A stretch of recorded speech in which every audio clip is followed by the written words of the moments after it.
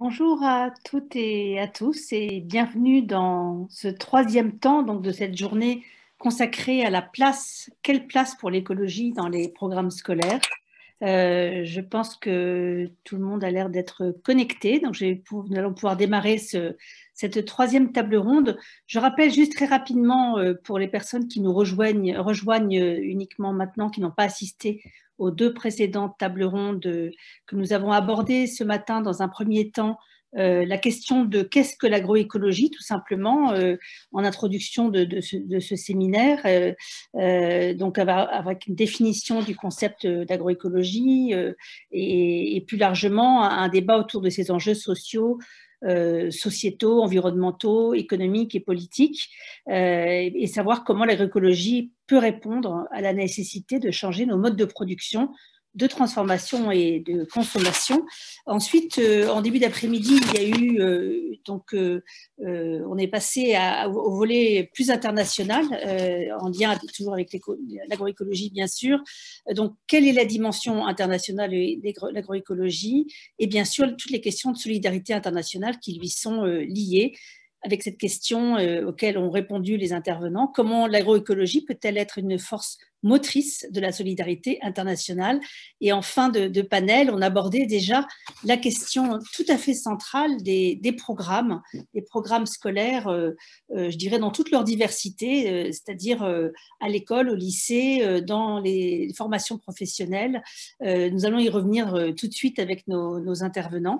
donc cette troisième table ronde, en fait, elle, elle arrive, je dirais, en continuité d'un d'une construction de plaidoyer. Nous allons voir comment euh, de nouveaux éléments vont être apportés par les interlocuteurs que je suis euh, ravie de présenter euh, tout de suite. Donc, si vous ne l'avez pas encore fait, je vous prie d'enlever la caméra euh, et puis là, le micro, je ne sais pas, ça c'est comme vous voulez, au moment où vous parlerez, en tout cas certainement. Voilà.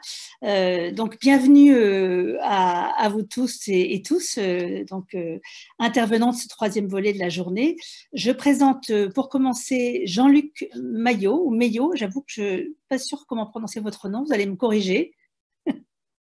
voilà, donc euh, vous êtes euh, professeur d'histoire contemporaine à l'Université de Lyon, Lyon 2, et spécialiste de l'histoire de la ruralité, par ailleurs directeur du laboratoire d'études rurales, équipe de recherche consacrée aux sociétés rurales européennes contemporaines, et vous êtes également euh, rédacteur en chef de la revue Ruralia, qui est la revue des ruralistes français. Peut-être pourrez-nous vous expliquer un petit peu comment elle se situe justement euh, dans votre travail. Euh, et vous, allez nous présenter, alors vous m'aviez expliqué que vous n'étiez pas un spécialiste euh, en soi de l'enseignement agricole, mais vous alliez pouvoir nous expliquer comment il a pris progressivement une place, à partir de quand, en remontant dans le temps euh, relativement long. Euh, ensuite, nous allons aborder la question de la construction des programmes avec euh, Pierre Chéret, qui est donc membre du comité de défense et de développement de l'enseignement agricole public. Vous êtes professeur, proviseur de l'école de viticulture et d'œnologie de la Tour Blanche dans le sud-ouest et vous êtes également conseiller régional, questeur de la région Nouvelle-Aquitaine.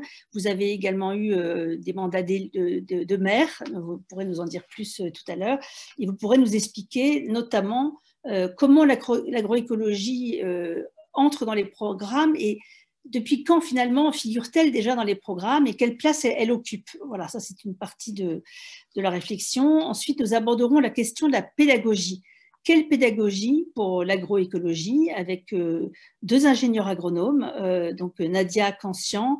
Euh, Nadia Cancian, vous êtes donc maîtresse de conférence à l'ENSFEA. Vous conduisez des travaux de recherche en didactique de l'agronomie et en didactique des questions socialement vives au sein de l'UMR EFTS à l'Université de Toulouse, Jean Jaurès. Et vous travaillez donc autour des questions de l'enseignement et des apprentissages lié notamment aux controverses euh, soulevées par la déclinaison de ce concept même, enfin de cette réalité de l'agroécologie. Et vous présenterez euh, donc euh, cette partie de la pédagogie pour l'agroécologie à deux voix avec Marie-Angelina Magne, également donc ingénieure agronome, maître de conférence à l'UNSFEA également, et vous êtes également au sein de l'UMR Agir, de l'INRAE Occitanie. Vous nous en direz plus dans un petit moment. Et vous analysez le fonctionnement et les performances de systèmes d'élevage diversifiés et des conditions sociotechniques de leur existence. Euh, et donc, vous allez pouvoir nous expliquer comment, au sein de ce master, vous contribuez à former les, les enseignants du technique agricole, voilà, pour développer des approches notamment euh, euh, disciplinaires et surtout interdisciplinaires de l'enseignement de cette question de la transition écologique. Enfin, euh, je vous présente, et on viendra à vous en fin de, tour des intervenants, donc euh, euh, deux, agronomes, membres du groupe thématique agriculture et souveraineté alimentaire d'ingénieurs sans frontières, ISF Agrista, donc Elodie Martin-Abad et Vivien Bourgeon. Donc là, vous allez nous faire également une présentation à deux voix, si je puis dire, et vous pourrez nous expliquer notamment comment, comment vous, avez, euh, êtes venu à rédiger ce manifeste que vous nous expliquerez tout à l'heure, manifeste pour une formation citoyenne des agronomes. Et, euh, voilà, et votre regard aussi peut-être sur les différentes interventions qui seront arrivées juste avant vous, parce que vous avez un regard certainement très frais voilà, sur cette question de la pédagogie, puisque vous êtes jeune. voilà.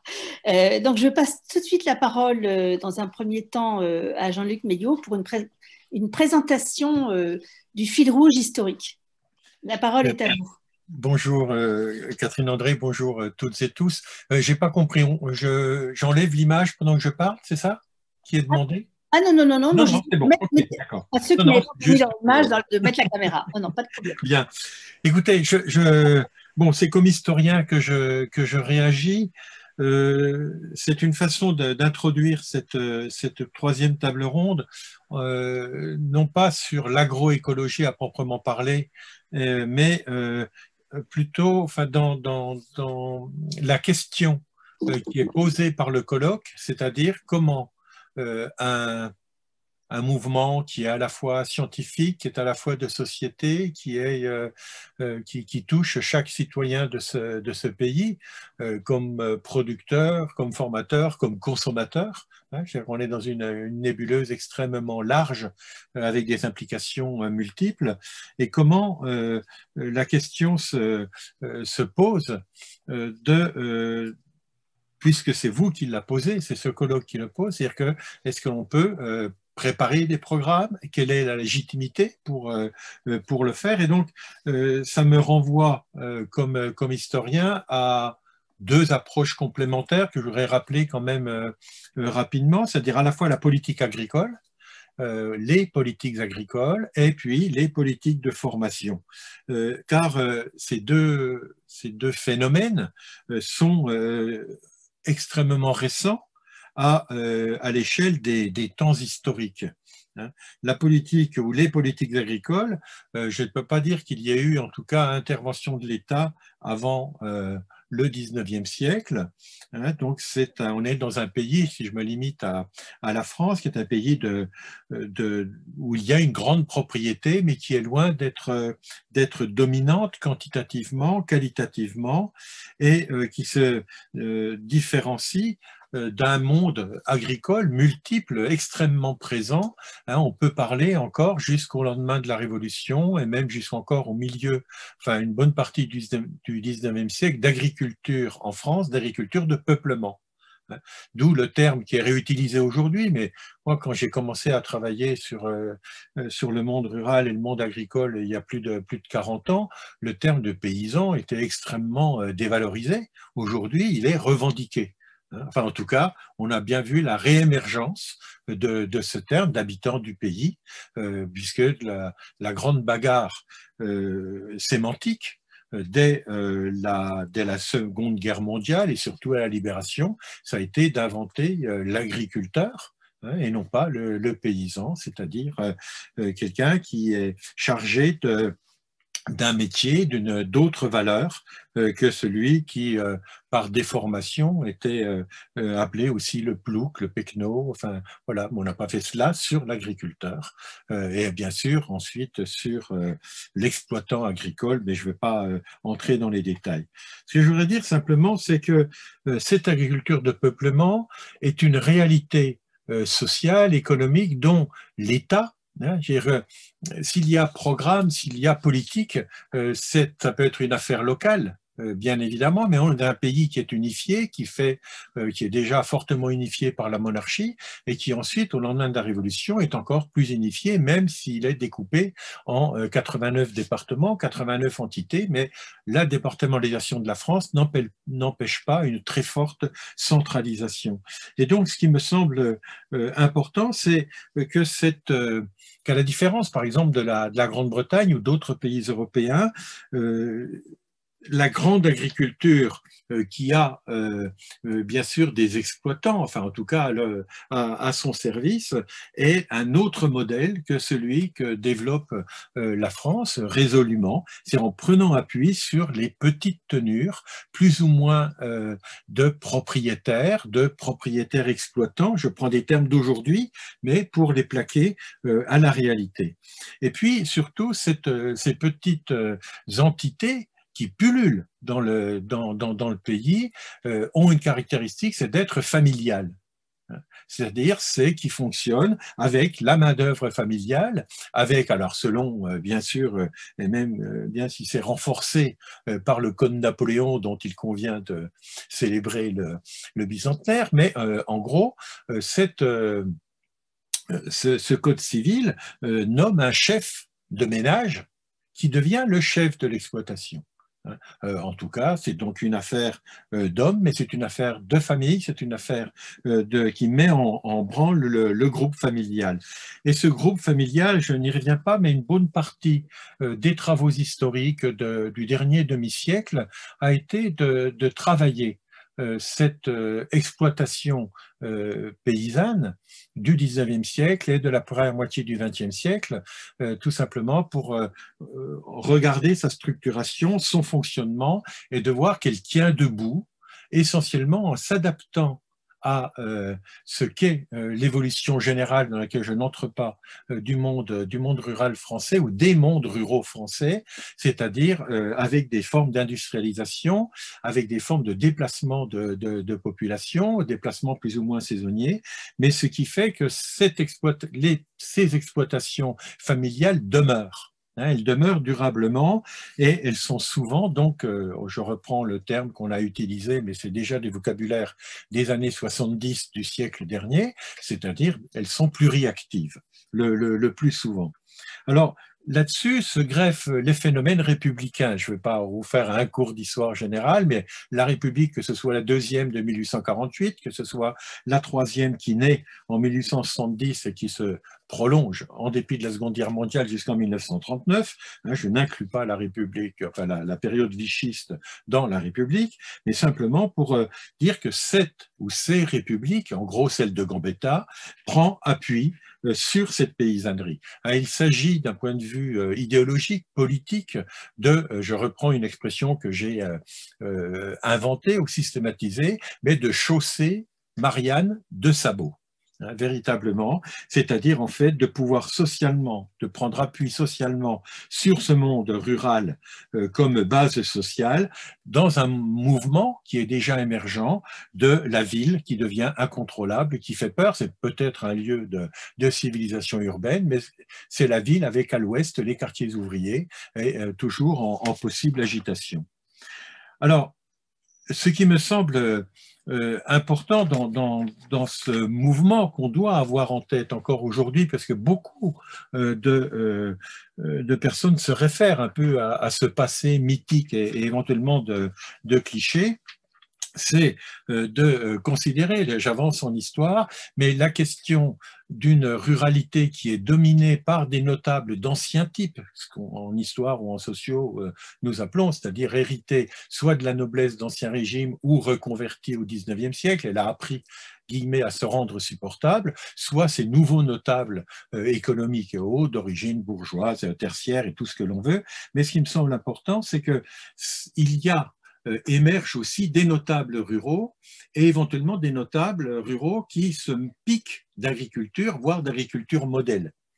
Donc je n'entre pas dans le détail, mais de voir à quel point euh, ce monde-là a euh, accompagné, suivi et tenté de, diffuser des modèles de production je ne parle pas euh, aussi du modèle culturel, voire religieux, que développent également euh, euh, les représentants des cultes, notamment catholiques dans notre pays. Hein, donc le modèle familial renforcé. Enfin, bon, je ne peux pas tout, dire en, quelques, en, une dizaine de minutes, mais c'est dire que l'ensemble de ces cadres ruraux se retrouvent pas mal déconsidérés au moment de la Seconde Guerre mondiale.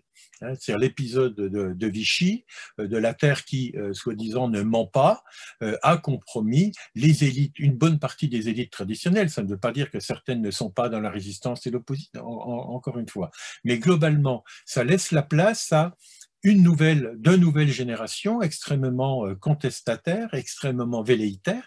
Donc, ce sont ces jeunes loups, et je rappelle juste pour mémoire, cette génération de jeunes de la guerre et de l'après-guerre, alors jeunes relatifs, hein, bien évidemment, mais je rappelle la création de la jeunesse agricole catholique, hein, avant de devenir chrétienne, depuis Vatican II, mais en 1929.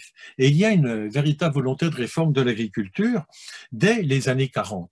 Hein, bien, enfin, tout ça émerge le programme de la résistance à, la libération. Et ce qui me semble important pour la France, c'est que le modèle qui va être mis en œuvre, c'est un, euh, prend appui sur l'exploitation familiale. C'est quand même euh, euh, quelque chose de, fondamental et de relativement unique. L'exploitation familiale a deux unités de travail humain, avec hommes et femmes, l'homme est son épouse, hein, et bien sûr accompagné de mécanisation et accompagné progressivement dans une logique qui devient infernale, mais de de performance, donc sélection des plantes, sélection des animaux, enfin bon, je ne vais pas entrer dans, tous ces aspects que vous connaissez, mais euh, phénomène euh, qui remonte déjà au 19e siècle, hein, on voit bien euh, que ce soit la mécanisation, la sélection du bétail, la sélection végétale. Alors, tout cela pour dire que ce qui est mis en place, c'est un cadre de production qui reste, sur, qui reste avec une base sociale. Hein, et ce qui me semble important. Et après tout, euh, ces exploitations familiales, organisées, de plus en plus organisées, ont un cadre de production, ont un marché, parce que parallèlement se développent euh, les prémices de euh, la communauté européenne, bien, évidemment, et il y a quelque part ce n'est pas toujours exprimé directement, mais la France pourrait très bien ambitionner de participer à la nourriture de toute l'Europe, euh, de, tout ce marché commun euh, qui, est, qui est mis en place. Donc, je, pas le temps d'entrer dans les détails, mais pour préciser quand même que c'est un cadre de production, c'est un cadre de marché national, voire plus, et puis surtout, c'est dans ce cadre-là qu'on est amené, que l'on que les agriculteurs ne sont pas simplement sollicités, ou les paysans ne sont pas simplement sollicités pour se maintenir, mais au contraire pour se développer avec l'ambition de nourrir, de, de produire, de, plus en plus. Donc, la petite exploitation, euh, si elle est respectée euh, euh, sur le papier, c'est très vite une exploitation qui doit être productive. Et cette productivité, c'est à la fois une amélioration technique, mécanique, chimique, le, poids des, intrants, mais c'est aussi une exploitation qui euh, s'agrandit. Et donc, on est dans une forme euh, de mécanisme qui, se, qui, est, qui est mise en place, c'est-à-dire la taille de l'exploitation devenant plus grande, l'ensemble à peu près euh, du terroir agricole utile étant utilisé, eh bien, si on augmente la taille des exploitations, on diminue le nombre de ces exploitations. Donc, c'est ça qui est important. Mais ce que je voudrais rappeler, euh, pour revenir à mon sujet, enfin notre sujet, c'est euh, que cette performance, euh, elle est, elle s'accompagne parce qu'il y a une demande de plus en plus précise d'une d'une demande, en tout cas de la reconnaissance accrue de la formation de ces acteurs. Et c'est le, deuxième point euh, et, dernier de, ma, de cette présentation, quelle politique de formation? Alors auparavant, euh, je dois dire, euh, en tout cas, si on regarde sur le 18e, 19e et des premières moitiés du 20e siècle, la politique de formation, c'est essentiellement laissé aux initiatives locales, hein, des écoles euh, agricoles plus ou moins définies comme telles, aux mains des notables euh, catholiques. Il faut attendre le décret de la Seconde République hein, d'octobre 48 qui va fixer un premier cadre euh, par, euh, par décret euh, avec le rôle des écoles d'agriculture. Je n'ai pas le temps de développer, mais c'est avec toutes les formes possibles. Hein. Initialement, ce sont les professeurs départementaux d'agriculture qui font les tournées de conférences. On en a beaucoup étudié, enfin en tout cas ici dans le laboratoire de Lyon, ce sont les fermes modèles, ce sont les écoles municipales d'agriculture, et c'est sur cette base-là, sur ces modèles-là, que se développent ensuite, avec, euh, au moment de, Gambetta, euh, les lois Ferry qui touchent l'ensemble de l'enseignement, qu'il soit rural ou qu'il soit urbain, mais qui s'accompagnent toujours pour l'instituteur rural du jardin potager, qui est jardin d'expérimentation pour les enfants. Donc là encore, cette troisième république naissante veut former également des citoyens euh, républicains mais citoyen républicain dans une définition de la République qui n'est pas forcément totalement égalitaire euh, dans, le formatage, mais qui est euh, là aussi assez techniciste. Et c'est cela qui me semble euh, important. Ce qui n'empêche pas euh, également l'État d'intervenir, et là encore une fois de, systématiser, parfois en essayant euh, de composer avec l'enseignement confessionnel, enfin essentiellement catholique, notamment dans l'ouest de la France, mais pas que dans l'ouest de la France, c'est bien sûr un enseignement supérieur. Hein, agricole. Et donc, on voit bien que comme pour euh, l'enseignement général avec l'université euh, et la recherche, on voit bien comment se structure, là encore, un peu en marge. Et c'est ça qui me semble important, c'est pourquoi l'agriculture est en marge. Certes, on dira que l'industrie aussi l'est. Hein, ces écoles, euh, ces grandes écoles industrielles euh, naissent de la même façon. Donc ça ne pose pas problème véritablement à la fin du 19e siècle ni à la première moitié du 20e, mais euh, on, voit bien que les choses vont se tendre progressivement tout au long du 20e siècle. L'autre aspect de la formation et de la pédagogie, je vais très vite, simplement en reprenant une expression que, que j'ai beaucoup utilisée, c'est la pédagogie de l'exemple. Et la pédagogie de l'exemple, ce sont c'est la pratique des concours, des concours agricoles, du comice, jusqu'à la création hein, en 1843 du premier concours national qui va être le point d'appui, qui deviendra plus, tard très... Euh, oh, avec une forme de renommée, mais le concours général agricole, mais qui est vraiment structurant dans une hiérarchie locale. Hein. le comice, il est à l'échelle du canton, mais il va y avoir des concours régionaux et des concours nationaux. Donc on voit bien comment se crée l'exemple, comment se crée l'émulation, l'émulation au village. Les plaques, les plaques de concours avec euh, leurs belles couleurs sont destinées à attirer l'attention, à être clouées euh, sur, euh, sur la ferme, sur les tables, sur la grange, pour attirer l'œil et pour se distinguer. Alors, Jean-Luc, rapidement. Je vais très vite. Alors, simplement, bon, je, je, voudrais simplement dire que voilà la question euh, de l'enseignement agricole se pose, se systématise, mais euh, dans des conditions, on va dire, depuis euh, l'après-seconde guerre mondiale jusqu'à aujourd'hui. C'est-à-dire qu'il y a une densification à la fois des écoles, mais aussi de l'invention de ce collège rural, hein, le collège général qui, qui est ah, je, perds mes, je perds mes mots, mais euh, qui devient euh, cantonal, qui est de proximité. Et euh, ce qui me semble là encore important, c'est la volonté de, de, à la fois d'un enseignement qui soit identique aux autres établissements scolaires, mais se distingue progressivement une volonté de former en agriculteur, en agriculture pour faire des agricultrices et des agriculteurs. Et c'est là, c'est sur ce cadre-là, à mon avis, qui demeure. Donc cette histoire de l'enseignement agricole. Donc pour conclure rapidement, c'est à la fois que euh, la question enseignement agricole comme levier des transformations, je demande à en discuter. Je pense que ce n'est pas tout à fait flagrant, hein, y compris dans les années 50 et 60. Donc on peut y réfléchir, enfin en tout cas par rapport, au colloque. L'école, est-ce que, euh, grande question qui nous est posée, quand on, hein, euh, est-ce que ça a été une école du euh, productivisme? Oui et non. je pense qu'il y a eu, enfin, en tout cas, là pour le coup, on manque d'enquêtes. Hein. il y a eu pas mal d'enquêtes de sociologie, mais de, de, ces années 1950, 60, 70, je crois que ça mériterait qu'il y ait un véritable programme euh, scientifique de recherche hein, sur les contenus et sur les façons de faire. Une question que j'avais envie de vous poser, mais du coup, après, parce que là, si on veut avoir Absolument. Juste ma dernière phrase, c'est que étudier cela, euh, ce n'est pas, en gros, la formation des agriculteurs a été, euh, ce n'est pas que les écoles d'agriculture. Mhm. Loin de là.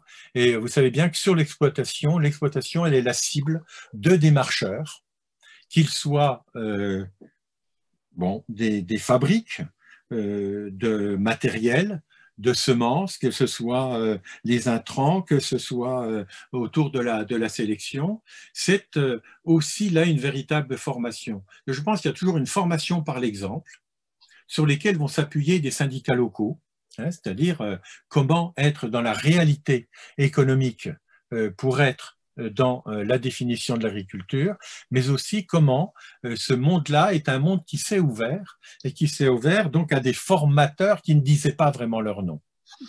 Voilà, j'arrête là, mais pour dire que la question qui, est, qui est posée, un, c'est que les questions de formation doivent être contextualisées.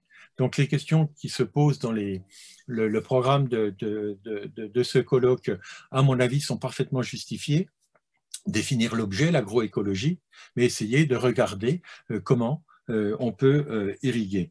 Le deuxième point, ce serait de renvoyer là encore à ce qui se passe ailleurs. Enfin, moi, j'ai suivi quand même d'assez près. On va, revenir ensuite, si vous voulez bien, parce que sinon on n'aura pas le temps de faire le tour. Mais simplement dire que le colloque de Cerisy, par exemple, hein, de, de, 2019, qui avait pour titre Science au pluriel, technique au pluriel, agriculture au pluriel, me semble un des lieux et les actes vont être publiés sur lesquels on peut vraiment euh, prendre appui. Voilà, je suis désolé d'avoir été évidemment trop long. Je vous remercie beaucoup. Ah oui, c'est vrai, merci, excusez-moi. Une présentation très, très exhaustive. Euh, merci Jean-Luc Maillot. Je, je, passe la parole. Donc, on, est déjà, on a abordé déjà cette question de la construction des programmes à, euh, avec ce fil rouge historique. Euh, donc, euh, je passe la parole tout de suite à, Pierre Chéré. dont je rappelle que vous êtes proviseur donc, de l'école de viticulture et d'œnologie de la Tour Blanche. Et voilà, et donc vous avez une approche, je dirais, directe de cet enseignement. Voilà, vous la parole. Merci, merci Catherine André. Vous m'entendez bien correctement? C'est bon? Voilà, alors en, quelques mots quand même, qui suis-je, puisque vous m'avez euh, présenté, mais il y a quelques éléments à, compléter, je le ferai euh, très rapidement. Je prie. Euh, au-delà de, de, ce que vous avez dit, qui est tout à fait exact, j'ai effectivement été maire d'une commune rurale et confronté au problème de l'agriculture, y compris de l'agriculture productiviste à un moment donné, avec le choix de signer ou pas un permis de construire pour un bâtiment industriel. Et puis surtout, je suis un pur produit de l'enseignement agricole. C'est peut-être ce qui fait ma particularité. Il y en a d'autres autour de, la table, mais euh, j'ai euh, usé mes culottes sur quatre lycées agricoles dans euh, trois régions différentes. j'ai jamais été viré, hein, c'est parce que j'ai fait différentes formations dans les différents lycées. Et puis j'en ai égrené après quatre autres comme enseignant en formation initiale scolaire, en apprentissage et aussi en formation continue. Et puis, comme vous l'avez dit, je suis directeur d'établissement depuis 18 ans. C'est ici mon cinquième poste dans trois euh, The Plève pas euh, différents. Voilà un petit peu. Et puis, mon parcours un petit peu de militant, c'est important aussi et ce sera très rapide. J'ai été euh, militant syndical au SNETAP FSU pendant une vingtaine d'années. Je suis toujours adhérent à la section locale de mon établissement, y compris en tant que proviseur. Et jusque dans les années 2000, et depuis, je suis investi et j'ai été conseiller régional, maire, etc., comme vous l'avez dit. Alors, le thème que vous m'avez attribué, et je vous en remercie, c'est la construction des programmes. Et en y réfléchissant et en échangeant avec à la fois Olivier Blunvel et avec vous assez longuement, Madame André, avec beaucoup de plaisir, je me suis dit peut-être que c'est pas de la construction des programmes que je devrais parler aujourd'hui, mais de la déconstruction des programmes. Dans le contexte aujourd'hui, comme ça a été évoqué ce matin par Monsieur Chassagnette, de euh, l'évolution euh, de la CPC, qui était un élément assez inquiétant sur lequel je vais revenir. Alors, l'objectif de ce colloque, euh, finalement, sur l'agroécologie, ce serait de rendre impossible le retour en arrière euh, sur l'intégration de l'agroécologie comme fil conducteur des programmes. Euh, sans oublier, bien évidemment, mais je ne m'apesantirai pas sur le sujet puisque c'était l'objet de la table ronde précédente, sur la solidarité internationale et la, mission de coopération, parce que tout ça va un petit peu ensemble. L'agroécologie, c'est une notion qui n'est pas seulement française, elle est internationale. Et puis bon, elle, peut englober tellement de choses que vraiment, ça, peut être intéressant.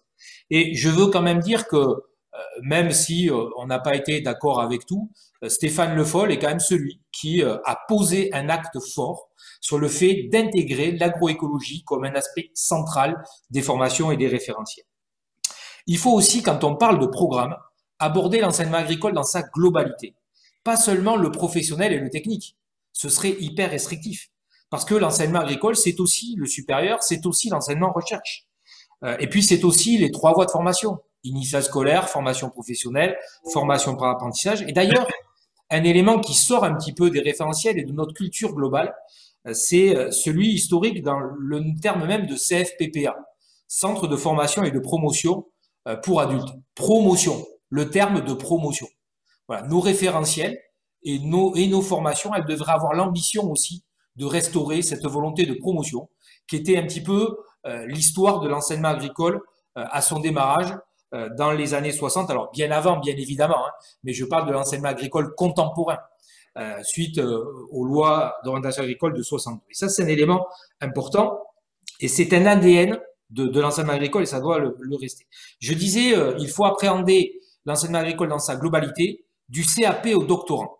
Voilà. Et l'agroécologie, ça ne concerne pas que l'enseignement supérieur ou des gens qui auraient la capacité à manier des concepts. Il faut que ça irrigue l'ensemble des formations, des plus basses entre guillemets, n'y voyez pas une connotation péjorative dans mon propos, euh, aux plus élevés. Voilà. Et que ce soit quelque chose qui, qui, porte les gens, et donc il faut que ce soit intégré dans les référentiels euh, en tant que tel. Il faut que ce soit une ambition pour tous, euh, quelque part, je, je dirais.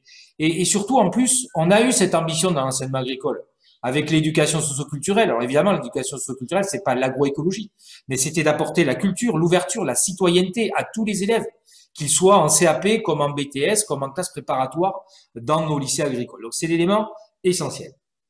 Pour la, la, construction des programmes. Et la question aujourd'hui, et je vais insister un petit peu sur ce point, c'est la réforme euh, de la commission euh, de la CPC, donc de la commission qui fait les programmes. Euh, aujourd'hui, on a retiré de nombreux acteurs pour recentrer cette commission uniquement sur les professionnels. C'est une erreur fondamentale. Même les professionnels, ils auraient dû refuser ça. Même les plus professionnels professionnels. Pardon, Madame André? Juste dire pourquoi. Pourquoi ça a été... Oui, je, je vais le dire. Parce que la vérité, elle ne sort pas d'une catégorie de personnes. La vérité, elle sort de la confrontation des idées, des compromis programmatiques, mais aussi et surtout des champs d'intervention différents. Parce que quand on est un professionnel agricole, et je les remets pas en cause, ils ont toute leur place dans la construction du programme parce que ils vivent la profession. Mais ils n'ont qu'une dimension de l'agriculture parce qu'il y a l'alimentation, etc. Et puis, et puis surtout, il y a le fait, je vais y revenir très rapidement, le fait qu'il faut s'adapter. On ne forme pas que des professionnels qui sont capables d'appliquer des recettes. C'est même le contraire. On doit s'extraire de ça. L'agroécologie, c'est tout le contraire de ça. Et donc, il faut impérativement obtenir, parce que ça, c'était la loi Pénicaud, euh, Monsieur Chassagnette l'a précisé ce matin, euh, il faut absolument revenir au fait que tous les acteurs, enseignants, parents d'élèves, etc., etc., puissent faire partie de ces commissions de construction des programmes. Des, des référentiels professionnels, pardon. C'est totalement aberrant. Parce que l'objectif, c'est bien sûr de former des agriculteurs, mais c'est aussi de former des acteurs de terrain. C'est aussi de former des citoyens, et c'est aussi la capacité à solliciter la réflexion et euh, à, à, à donner la capacité à l'adaptabilité. Et quand on se recentre sur le technique et le professionnel, on perd toute, toute capacité à l'adaptabilité. C'est un petit peu brutal et sévère ce que je dis, mais je le pense profondément. Et donc, euh, force est de constater que la loi Pénicaud, et je terminerai sur ce sujet, euh, a vraiment renforcé cet aspect des choses et c'est assez euh, insupportable. Et puis le deuxième point dans les programmes, dans cette construction, évidemment, c'est consubstantiel à ce que je viens de dire, c'est qu'il faut maintenir la culture générale.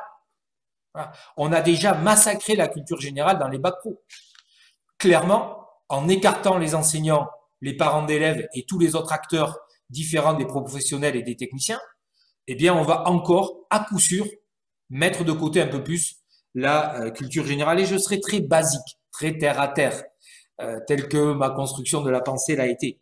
Euh, il est aussi indispensable pour pouvoir comprendre l'agroécologie et la portée, de maîtriser à minima la langue française et les mathématiques élémentaires. Ok, c'est des propos peut-être un petit peu conservateurs, euh, même si je pense pas l'être. Euh, mais si on maîtrise pas ces, un minimum ces concepts, c'est compliqué de s'élever euh, pour aller plus loin. et puis surtout, c'est aussi le rôle du service public d'avoir de la hauteur de vue, un regard large et d'enseigner la diversité. Et d'ailleurs, pour répondre à une interpellation que vous faisiez et qui a été évoquée un petit peu précédemment, c'est que euh, on n'a pas attendu euh, l'agroécologie de Stéphane Le Foll pour la mettre en place dans l'enseignement. Euh, il y a dans, le, dans notre enseignement agricole, comme ça existe à l'éducation nationale d'ailleurs, des modules d'adaptation locale, des modules d'adaptation régionale, des, petits modules, c'est des volumes horaires restreints, où ce sont les établissements qui font les programmes. Et énormément d'établissements avaient intégré des modules sur l'agroécologie, sur l'agriculture biologique, etc. Et ce, dès le début des années 80. Donc les hommes et les femmes qui composent l'enseignement agricole ils l'ont aussi porté au travers des libertés pédagogiques qu'on leur a un peu laissées. Et je dirais, même si c'est pas politiquement correct, qu'à l'intérieur des programmes conventionnels, les textes, on peut aussi euh, largement introduire des notions diversifiées et beaucoup d'enseignants l'ont fait. Moi, j'ai eu un professeur d'agronomie euh, au lycée agricole de Toulouse qui largement euh, allait sur ce terrain-là dans les années 80. Hein, et, et c'était important. Et puis, pour finir, parce que je vais essayer de m'en tenir à, ce que vous me disiez, euh, je disais, il faut enseigner euh, la diversité. Et moi, je ne suis pas un dogmatique. Je suis un pur produit, comme je vous l'ai dit, de, l'enseignement agricole productiviste. Je m'en suis extrait avec le temps euh, et, j'ai appris. Et moi, je suis pour qu'on enseigne la coexistence des agricultures. L'agriculture de production, je ne vais pas l'appeler productiviste, mais évidemment raisonnée l'agriculture agroécologique qui peut intégrer beaucoup de choses et l'agriculture biologique. Ce n'est pas l'une contre l'autre, c'est l'une avec l'autre. Et d'ailleurs, c'est le raisonnement et euh, la démarche positive vers des pratiques plus respectueuses de l'environnement dans l'agriculture de production et dans l'agroécologie qui conduiront à renforcer euh, l'agriculture biologique. Mais pour ça, il faut renforcer l'agronomie dans les programmes et tout ce qui touche autour de la biologie du sol. Parce que l'agriculture biologique et l'agroécologie elles sont plus exigeantes en termes techniques que ne l'était l'agriculture de production conventionnelle. On nous donnait des recettes, il fallait appliquer, c'était relativement simple finalement. Et l'agriculture biologique, c'est beaucoup plus complexe. Et on remet au cœur, et moi c'est vraiment un plaisir puisque j'ai été prof d'agronomie, c'est vraiment un plaisir pour moi, on remet au cœur du système où on doit remettre, on doit le renforcer, euh, l'agronomie, les sciences du sol et la biologie. Mais tout ça doit s'intégrer dans une pluridisciplinarité, avec de l'histoire-géographie, avec de la, euh, philosophie, euh, avec des approches, euh, générales. Alors, parce que tout ça s'inscrit dans une logique pluridisciplinaire, et en plus, la pluridisciplinarité, c'est un marqueur aussi historique de l'enseignement agricole. Donc, il faut, insister sur, ces, choses-là. Ce que je dirais pour conclure, et à peu près respecter le timing que, vous nous avez euh, euh, donné, c'est que euh, pourquoi, pourquoi la loi Pénicaud a peur finalement en sortant les différents acteurs d'enseignement de de la construction des référentiels? Pourquoi se recentrer uniquement sur le projet Je ne comprends pas cette peur. Je ne comprends pas cette peur. Elle est contraire à l'intérêt général et à l'intérêt à la mission de service public que nous avons. et, comme souvent, je l'ai dit tout à l'heure, et c'est vraiment par ça que je voudrais terminer et insister. C'est que de toute façon, dans tous les cas, agroécologie, agriculture biologique, philosophie de l'alimentation, euh, perspective, en tout cas, ou mise en perspective historique euh, des choix qui ont été construits, euh, des évolutions, de la capacité à s'adapter, tout ça, ça dépend essentiellement des hommes et des femmes qui composent et qui font vivre l'enseignement agricole. C'est à la fois quelque part inquiétant et rassurant, parce que ça veut dire que les référentiels, finalement, quand je vous dis ça, je, je relative, je relativise pardon l'importance des référentiels, euh, mais c'est pas mon propos, mais c'est vraiment, euh, mais c'est aussi euh, rassurant parce que euh, fondamentalement, c'est quand même les hommes et les femmes qui portent les choses. Et, et ce sont ces acteurs-là qui vont permettre de faire que l'agroécologie, au-delà des programmes, même si elle doit être consolidée, renforcée, c'est l'objet de notre colloque, sera le fil conducteur de l'enseignement agricole. C'est ça qui est pour moi euh, l'essentiel. Et puis, euh, je me suis dit finalement euh, que j'avais pas vraiment répondu à la question posée, mais que le fondamental, c'était, et ce qui devait rester de ce colloque, et c'est un petit peu ce que nous partagions, Madame André, au, téléphone, c'est que l'agroécologie devienne un fil conducteur de la pluridisciplinarité de nos formations, que ce soit du CAP jusqu'au doctorat en passant par les ingénieurs et les BTS, et qu'il faut impérativement revenir à des commissions de construction des référentiels professionnels qui intègrent tous les acteurs de la société et de l'enseignement agricole. Merci. Merci beaucoup, euh, Pierre Chéret. C'était très intéressant d'avoir à la fois votre éclairage issu de votre expérience et puis euh, ces recommandations déjà. J'ai une question très courte, mais vraiment, euh, on pourra revenir ensuite. je veux juste savoir si cette vision que vous avez, que vous venez de nous partager, et, partagé à votre connaissance par vos collègues proviseurs, euh, euh, je dirais, de lycées similaires. Mais bon, en, très court, on pourra revenir. Euh, oui, très court, très court, très court. Je, je pense qu'elle n'est pas partagée par tous, c'est clair. Mais je, je, pense que ça reste l'ADN de l'enseignement agricole. Et je crois que je crois qu'elle est quand même partagée massivement. Après, la deuxième question, et ce sera très court, Madame André, c'est a-t-on le courage de le porter? Hmm a-t-on le courage de le porter? Et finalement, c'est peut-être la question essentielle. En tout cas, moi, je l'ai. Merci beaucoup. Euh, je passe la parole tout de suite donc à Nadia Cancian et Marie-Angelina Magne. Euh, donc la, parole est, à vous avec votre euh, présentation justement sur ben, en fait vos réflexions sur cette question de la pédagogie. Quelle pédagogie pour l'agroécologie? La parole est à vous merci. Bonjour à, toutes et tous. Donc, euh, nous allons intervenir à, deux voix, donc comme vous l'avez précisé. Je vais juste faire un tout petit complément de, présentation concernant euh, nos deux profils.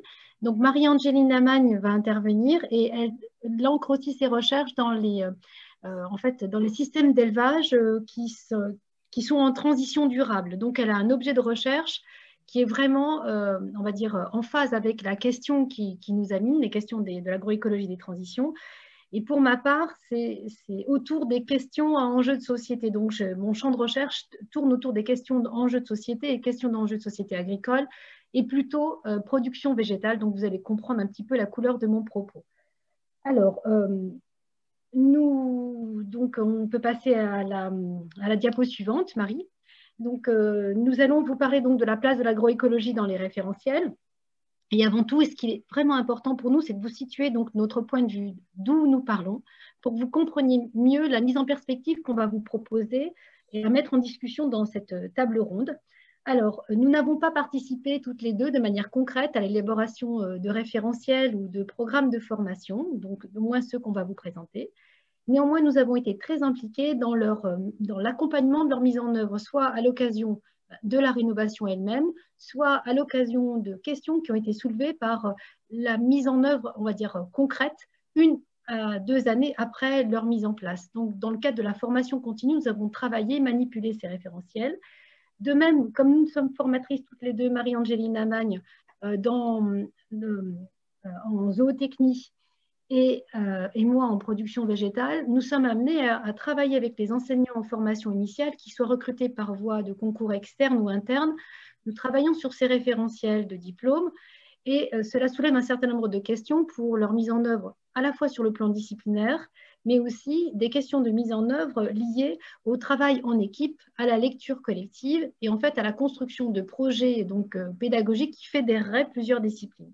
Donc voilà, notre propos, il s'articule autour de, cette vision que nous proposons, croisée. Et nous allons dans un premier temps donc, euh, vous proposer une petite euh, rétrospective historique euh, avant le plan EPA, le premier plan enseigner à produire autrement. Et dans un deuxième temps, on vous proposera finalement quelques points clés pour former à la transition et il s'agit bien, nous ne positionnons pas en donneuse de leçons, mais nous sommes embarqués dans un processus que vous, comme nous, euh, vivez. Donc euh, voilà, donc c'est nos éclairages à ce moment-là. Alors, le plan euh, enseigner à produire autrement, donc c'est l'autre diapo. Donc, est constitué, le premier est constitué de quatre axes. Et en fait, c'est surtout deux axes que nous allons donc un peu imager à la lumière de notre propos, donc euh, travailler autour de la rénovation des référentiels et des pratiques pédagogiques. Et quelque part, donc avec la mise en perspective qu'on vous propose aussi, ça pose la question de la, de, la formation et de l'accompagnement en fait des personnels dans les établissements pour donc s'engager dans les projets autour du enseigner à produire autrement. Alors, euh, encore un autre point euh, de parti pris, donc le champ de la production au ministère de l'Agriculture, au niveau de l'enseignement technique agricole, revêt une importance euh, non négligeable. Et nous avons souhaité donc, et puis c'est le premier qui a été interpellé, un peu bousculé par la perspective agroécologique, et c'est celui que nous allons d'abord, enfin, que nous allons dérouler tout simplement donc aujourd'hui. Alors, nous allons remonter à 2008. 2008, pourquoi? Parce qu'il s'agit du moment où il y a une rénovation euh, de, la voie professionnelle, donc euh, le bac pro en trois ans. Et en particulier, il a été instauré euh, quelque chose qui a bouleversé un peu les équipes, c'est l'évaluation et la formation par capacité. Alors pourquoi ça a bouleversé? Tout simplement parce que c'était une autre façon d'appréhender les référentiels et de construire normalement des situations d'évaluation et de formation il s'agissait en fait de, participer donc à une, autre façon de, s'emparer de la complexité en, travaillant sur des situations concrètes, proches de situations de travail en milieu professionnel, et de voir comment on formait ou on évaluait des élèves face à des problèmes et comment ils mobilisaient des ressources donc, qui étaient appropriées en contexte, des savoirs combinés à des raisonnements, des démarches, mais aussi développer des comportements. Donc ça, pour nous, donc on le précise à ce niveau-là, l'agroécologie n'était pas encore en question dans, l'enseignement agricole, mais c'est déjà un premier prémisse pour préparer finalement des visions, des méthodes de travail pour s'emparer d'une forme de complexité, puisque vous l'avez si bien précisé dans les différentes tables rondes, il n'y a pas de modèle à suivre dans l'agroécologie, mais des principes à décliner suivant les singularités des, concepts, des contextes.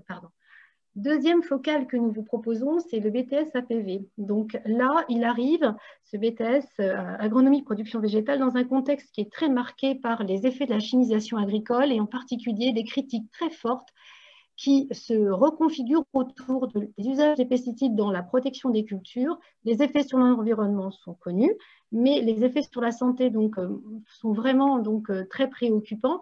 Et en arrière-plan, on a le plan EcoPhyto, le premier, EcoPhyto 2008, avec une ambition. Donc on a un module particulier qui émerge, euh, qui est un module qui s'intéresse finalement au fonctionnement, euh, écologique, euh, en fait, des processus de régulation des, populations, en particulier ces processus de régulation naturelle seraient à mobiliser pour gérer la santé des plantes. Donc ça, ça a été un premier signal fort avec la biodiversité comme levier pour euh, assurer des formes de stabilité et de résilience des systèmes cultivés. Un autre point qui apparaît important, c'est un module qui s'appelle système de culture. En fait, c'est un concept qui est vraiment opéra... enfin, c'est un concept structurant, robuste, parce qu'il permet de questionner un certain nombre de choses et en particulier apparaît au niveau de ce module euh, l'adjectif innovant. Donc, on va impliquer ces étudiants à réfléchir sur des systèmes plus ou moins en rupture avec euh, un peu le modèle dominant et leur donner des clés pour un peu le positionner par rapport à un modèle qu'on pourra discuter, mais en fait, on leur donne des clés pour penser l'innovation. Alors, le BTSAX arrive en 2014, donc l'acronyme reste le même, mais en fait, le SE, c'est plus euh, système d'exploitation, mais c'est stratégie de l'entreprise. Donc ça, ça veut dire un peu quelque chose de particulier. Il y a aussi des, c'est euh, contemporain du plan euh, enseigner à produire autrement et bien sûr de la loi d'avenir dont il est issu. Et là, on voit des disciplines qui apparaissent, biologie, écologie, et un module complètement, on va dire, au départ euh, déstabilisant pour les enseignants, qui donne des clés de lecture, des clés de compréhension, des concepts pour en fait s'emparer du fonctionnement écologique des agroécosystèmes, pour aller chercher et étudier sur des cas particuliers les processus écologiques en jeu. Donc donner de nouvelles clés de lecture pour gérer des systèmes de production. Et la corollaire, donc on a, un, on a un nouveau module aussi qui apparaît, qui est le système biotechnique innovant, toujours avec le terme biotechnique innovant, c'est en même temps euh, redonner de l'importance aux porteurs d'enjeux pour euh, donc faire évoluer en fait des systèmes, avoir des outils de diagnostic et puis les positionner par rapport aux commanditaires. Et en particulier, un certain nombre d'équipes s'étaient appuyées sur euh, des commanditaires qui sont vraiment très locaux. Euh, les établissements de l'enseignement technique agricole ont la particularité d'avoir des exploitations, euh, des, exploitations donc support.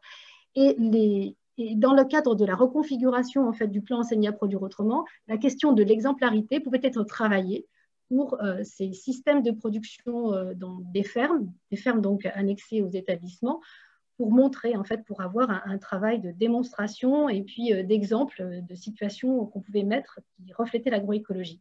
Et en même temps, et ça, ça a été dit lors de la première table ronde, euh, de, penser de manière, euh, on va dire, silotée euh, la perspective de développement écologique et la perspective socio-économique, ça n'est pas, pas un raccord pour l'agroécologie.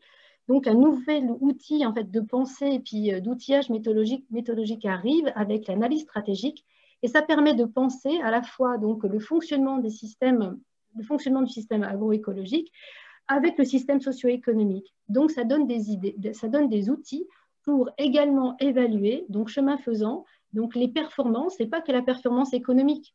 Là, c'est la, la triple performance économique, environnementale et sociale. Et en plus, elle est porteuse d'une visée stratégique, donc une projection. Alors, le CAP agricole donc, euh, euh, est, aussi, lui, est aussi rénové, et en particulier, donc, euh, ces opérateurs de terrain, leur formation, va, on va porter une particulière attention à la question de l'observation, mais de l'observation du vivant, pour donc davantage donc, les impliquer dans ces observations pour mieux connecter en fait les effets des pratiques à des indicateurs de fonctionnement biologique. Alors, avec la, rénovation de la seconde professionnelle 2016 et ensuite un peu plus tard le bac prof professionnel, eh bien là l'agroécologie euh, est marquante dans ce, diplôme emblématique qui permet donc, euh, qui forme euh, les futurs responsables des exploitations des entreprises agricoles. On passe en seconde à une initiation de l'agroécologie avec des termes qui sont forts, l'agroécosystème qui donne une vision systémique du fonctionnement ben, de systèmes cultivés, en particulier de la parcelle, de montrer les connexions entre différents éléments de structure et voir quels sont les effets du fonctionnement. Et en particulier, on insiste dans un module pluridisciplinaire autour d'un concept qui doit devenir, on va dire, ordinaire, c'est euh, le service écosystémique. Le fonctionnement peut délivrer ou peut empêcher des services écosystémiques. Alors en bac pro, on poursuit sur la lancée, mais la focale est différente. C'est un approfondissement de l'agroécologie et il y a là aussi un message politique qui était très fort autour du lien au sol, autour des questions de l'intégration euh, culture-élevage et en particulier l'objet euh, qui était saisi qui a aussi beaucoup animé les équipes éducatives, c'est la question des ressources naturelles communes. Il s'agissait donc dans ce référentiel d'entrer par la question en particulier des ressources, de relier en fait production et euh, mobilisation des ressources et de voir quels étaient les liens entre pratique et ressources et ressources et pratiques dans un contexte. Il y a une autre révolution vraiment là aussi très marquante. On est passé pour l'évolution des fondamentaux en agronomie à la question euh, finalement des, euh, des comment s'appelle? Des on, est parti, on est parti d'une évaluation donc euh, globale écrite qui était, on va dire, sans singularité, à une évaluation qui était orale, qui était très liée à l'évaluation en fait de la compréhension du processus de fonctionnement écologique d'un système cultivé que les élèves pouvaient étudier. Donc on s'ancre vraiment dans l'agroécologie. Et enfin, le baccalauréat en 2020, lorsqu'il est rénové, c'est vraiment on va dire un, référentiel engagé. Ça vise donc l'engagement citoyen, en particulier au travers donc d'une épreuve orale euh, qu'on appelle donc l'épreuve orale terminale, où les élèves auront à s'emparer d'un sujet euh, de société en lien avec l'agriculture et l'alimentation, et ils auront à construire en fait euh, une problématique, une argumentation et devront défendre à l'oral leur point de vue. Et on outille aussi au niveau de ce bac pro pour montrer de la diversité des situations, un certain nombre de grilles de lecture et d'observation pour s'emparer et comprendre les logiques d'acteurs sans les opposer. Donc on passe à la dernière diapositive pour mon propos. Alors finalement, on voit qu'on a eu des facettes différentes selon les périmètres en fait, des, métiers qui étaient visés ou des finalités éducatives qui étaient visées. On passe progressivement de l'échelle agroécosystème au système agroalimentaire, de l'agroécologie à la transition agroécologique, voire à la, aux questions de transition pour le baccalauréat technologique. On passe, je dit, mais d'une plurie qui a été assez prescrite au début à une plurie qui est moins cadrée, qui embarque davantage de modules et de disciplines, et une forte contribution des disciplines générales qui vont travailler des dimensions socio-économiques et qui vont s'emparer en particulier dans le bac pro des questions de problématisation, d'argumentation et qui vont inviter les disciplines techniques à travailler avec elles et plus l'inverse. Et on a plus d'évaluation orale. Donc, je laisse la parole à ma collègue. Euh, donc, les traces de l'évolution en cours pour intégrer euh, l'agroécologie dans les référentiels de diplôme euh, sont aussi visibles en fait dans le, plus largement dans le plan enseigné à produire autrement 2 qui date de janvier 2020. Et donc dans ce, dans ce plan, par rapport au premier plan enseigné à produire autrement, il y a deux, gros, deux grosses ambitions. Le premier, c'est de dépasser le domaine de la production agricole sensu stricto, ce qui était un peu, ce qui a pu être perçu comme le cas en fait euh, sur le plan enseigner à produire autrement, où vraiment on parlait de enseigner à produire autrement, et euh, de dépasser cette échelle agricolo-agricole pour embarquer la, transition des systèmes agroalimentaires et les transitions au pluriel. L'enjeu étant euh, d'embarquer l'ensemble de la communauté éducative qui, qui, qui, travaille en fait dans les lycées agricoles et qui ne concerne pas que les filières de production, mais qui concerne aussi les filières d'aménagement, les filières de services et les filières de transformation. Euh, donc ça, c'est le premier gros enjeu. C'est pourquoi, en fait, dans ce plan, on parle d'enseigner euh, les transitions et l'agroécologie. Euh, et le deuxième gros enjeu, en fait, c'est de, replacer l'apprenant au centre de, la démarche, de l'ensemble des démarches. Donc ça, c'est relève de l'axe 1, encourager la parole et l'initiative des, apprenants sur ces questions de transition. Et donc euh, là, l'ambition, elle est de développer les compétences euh, citoyennes, d'autonomie décisionnelle euh, des apprenants et, professionnels pour pouvoir leur permettre de contribuer activement à ces transitions vers la durabilité. Euh, en continuité euh, de ce plan, on a, on a fait le, choix aussi de consolider avec ce plan des dynamiques qui étaient en cours euh, dans les établissements et notamment de, de, consolider le réseau de référents enseignés à produire autrement, qui concerne à peu près un pool de, de 130 acteurs, alors principalement des enseignants désormais, que l'on fait monter en compétences chemin faisant autour ben, de, l'enseignement de des, transitions vers la durabilité et qui ces, ces, référents ont vocation à accompagner des dynamiques collectives, alors intra-établissement dans leur établissement, inter-établissement à l'échelle des régions, parce que le multisite, il a un intérêt quand on travaille sur l'agroécologie, parce que euh, du coup, c'est en contexte qu'il faut implémenter les, les, euh, euh, les, principes, et aussi avec les acteurs du territoire, alors pour essaimer des dynamiques qui sont en EPL, qui sont porteuses pour les transitions, et inversement, en fait, pour pouvoir collaborer avec des, des, initiatives prometteuses du territoire autour des, des transitions durables. Euh, alors, quand on parle de transition agroécologique et de former à la transition agroécologique, se pose vite la question des transitions pédagogiques qui permettent de supporter et de, former à ces transitions. Alors, sans prétendre, sans parler de transition euh, pédagogique, juste on a identifié quelques points qui nous semblent importants, voire incontournables, en fait, de travailler avec les apprenants pour les former à mettre en œuvre ces transitions et à s'y engager.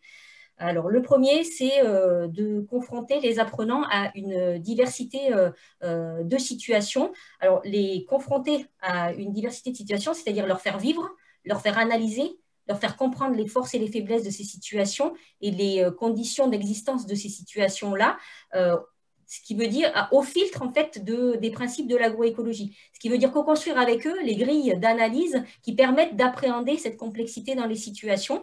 Euh, donc, sur la base de ces principes agroécologiques dont on a parlé un peu euh, tout le long de la journée, des principes qui relèvent de l'écologie et de la biologie, par exemple l'utilisation de l'agrobiodiversité dans les systèmes agricoles, ou alors des principes qui sont plutôt socio-économiques euh, et qui relèvent, par exemple, de la reconnexion entre la production et la consommation.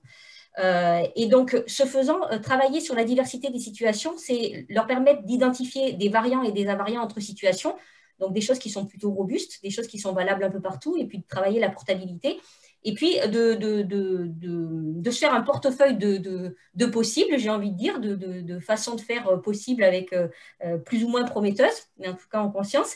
Euh, et la dernière chose surtout qui est importante, c'est de travailler une diversité de situations, c'est de ne pas les opposer. Euh, et quand on travaille avec les jeunes, c'est important parce qu'ils sont, pour certains, issus du, du, modèle dominant, on va dire, du régime dominant. Et donc, l'enjeu, en fait, c'est bien d'embarquer l'ensemble dans un processus de transition. Le deuxième point qui nous semble important, c'est d'amener les apprenants à construire co-construire en fait des futurs possibles et des chemins pour y arriver. Donc euh, euh, ça pour plusieurs raisons, parce que fait de co-construire. Alors pour ça, ils peuvent s'appuyer sur sur les, alternatives possibles qu'ils ont identifiées en se confrontant au réel. Euh, et donc, qu'est-ce que ça permet? Ça permet en fait d'ouvrir des perspectives euh, et donc de donner de l'espoir parce que des fois en fait on a, on a, besoin en fait de se projeter pour se donner de l'espoir et voilà. Et puis en, co-construisant de manière plus ou moins euh, euh, fine en fait ça permet de réduire les incertitudes sur des possibles et donc de s'engager. Ça on en a parlé en fait ce matin monsieur de la Chapelle en a parlé euh, le deuxième point, c'est que co-construire, en fait, c'est, euh, on, a bien vu que l'agroécologie, en fait, c'est, c'est pas un modèle, c'est pas une recette. Donc, euh, ça demande d'être implémenté et d'imaginer. Donc, travailler cette créativité pour ben, construire son, son, propre système, c'est important. Puis le troisième point, en fait, c'est que ça permet, quand on travaille sur des systèmes basés sur les principes de l'agroécologie, ça veut dire travailler avec du vivant qui est variable et donc ça demande une certaine adaptation. Euh, euh, et, donc, du coup, euh, travailler sur la co-construction de ces, cibles, c'est aussi mettre, les apprenants dans des situations d'apprendre à s'adapter. donc voilà, donc la co-construction, elle, peut être à différentes échelles, hein, à des échelles des ateliers de, production, à l'échelle de la ferme, à l'échelle des territoires. Quand on parle d'intégration culturelle c'est des fois plus important en fait de les travailler à l'échelle du territoire plutôt qu'à l'échelle de l'exploitation. Puis à l'échelle du système agroalimentaire dans sa globalité et sur la co-construction des filières, je pense qu'il y a du travail. Euh, le troisième point, c'est d'amener les apprenants à s'emparer des questions à, enjeux de société. Alors, s'emparer euh, de ces questions, c'est pas les regarder de manière distanciée. C'est-à-dire, euh, c'est amener les apprenants à raisonner dessus, à prendre des décisions et à se positionner. Donc, euh, en appréhendant l'ensemble de ces enjeux, l'ensemble des dimensions qui sont en jeu, des enjeux en termes de santé, des enjeux en termes de euh, environnemental, en termes euh, d'éthique, en termes de technique, en termes économiques. Et donc, alors, ça peut paraître complexe, mais bon, c'est à calibrer en fonction des niveaux. L'idée, c'est de ne pas lâcher sur les dimensions qui sont en jeu. Par contre, on peut aller plus ou moins de manière approfondie dans chaque dimension en fonction en fait du niveau, du niveau auquel on va former. Euh, voilà. Et le dernier point, c'est de faire évoluer forcément les représentations euh, qu'ont les apprenants vis-à-vis du vivant. Donc, euh, la crise que l'on vit depuis un an, en fait, nous rappelle de manière assez brutale que l'humain, il est bien dans le système vivant, il ne peut, peut pas tout contrôler. Quand on travaille sur des systèmes basés sur les principes de l'agroécologie, ça veut dire faire avec le vivant, faire avec cette variabilité, euh, et donc accepter aussi de ne pas la contrôler. Donc il faut travailler sur cette représentation du vivant, humain, non humain. C'est travailler euh, avec les jeunes en fait sur avoir des questionnements éthiques sur leur action, c'est-à-dire aujourd'hui ce que je fais, quel impact ça a en fait sur euh, les, êtres vivants dans leur diversité ici, mais aussi ailleurs. Donc on en a parlé aussi cet après-midi, c'est-à-dire que les actions que j'ai aujourd'hui en France, en fait, elles ont des impacts sur ce qui se passe au Brésil. Euh, voilà. Et euh, avec, euh, quand on travaille en zootechnie aussi, il y a une approche sur, le, laquelle on peut s'appuyer pour travailler les représentations des jeunes vis-à-vis du vivant. C'est sur des approches sensibles. C'est-à-dire quand on manipule des animaux, eh ben, il y a des, émotions qui passent. Et donc cette approche sensible, en y revenant dessus avec les jeunes, ça permet de travailler cette relation au vivant pour travailler sur ces différents points, euh, les enseignants, forcément, ils ont des, alors on en a parlé tout à l'heure, euh, ils ont en fait forcément des approches interdisciplinaires à avoir parce qu'il faut croiser les regards et c'est pas qu'avec un regard technicien en fait qu'on peut appréhender euh, l'ensemble des valeurs qui sont en jeu. Euh, c'est d'avoir une posture engagée dans les choix didactiques. Ça aussi, M. Euh, Chenet en a parlé. C'est-à-dire qu'il y a le référentiel, mais il y a, les choix en fait qu'est capable de faire euh, l'enseignant dans les choix qu'il fait en fait de mettre en activité, de mettre en travail, les situations qui décident de, travailler avec les jeunes. Eh il faut que ce soit des choix qui, soient engagés. Et puis le, dernier point, c'est d'amener les jeunes à développer des démarches d'investigation et d'enquête euh, c'est-à-dire euh, plus une pédagogie de la question, les amener à explorer en fait les questions, à bien identifier le problème, l'origine du problème, etc., plutôt que de travailler uniquement euh, les, solutions. L'un n'est pas exclusif de l'autre, mais et donc tout ça normalement doit permettre d'appréhender la complexité qui est en jeu dans des situations qui sont basées sur la transition agroécologique et qui relèvent à la fois d'une complexité liée au vivant, tout est interconnecté, avec euh, des, processus de régulation qu'on ne maîtrise pas toujours, et puis des interactions entre ce système vivant et le système socio, euh, socio-économique. Donc ça, c'est ça, alors ça fait, ça fait beaucoup, mais en même temps, en fait, d'avoir ça en tête, ça permet de travailler avec euh, les jeunes, se donner des perspectives, et c'est aussi de la façon dont on travaille avec, du coup, les, enseignants. D'accord, je, je, vous remercie beaucoup, donc Marie-Angelina Magne et Nadia Conscience, c'est très riche, il y a énormément de, non seulement de pistes de réflexion, mais de, bah, de, possibles en fait dans tout ce que vous proposez.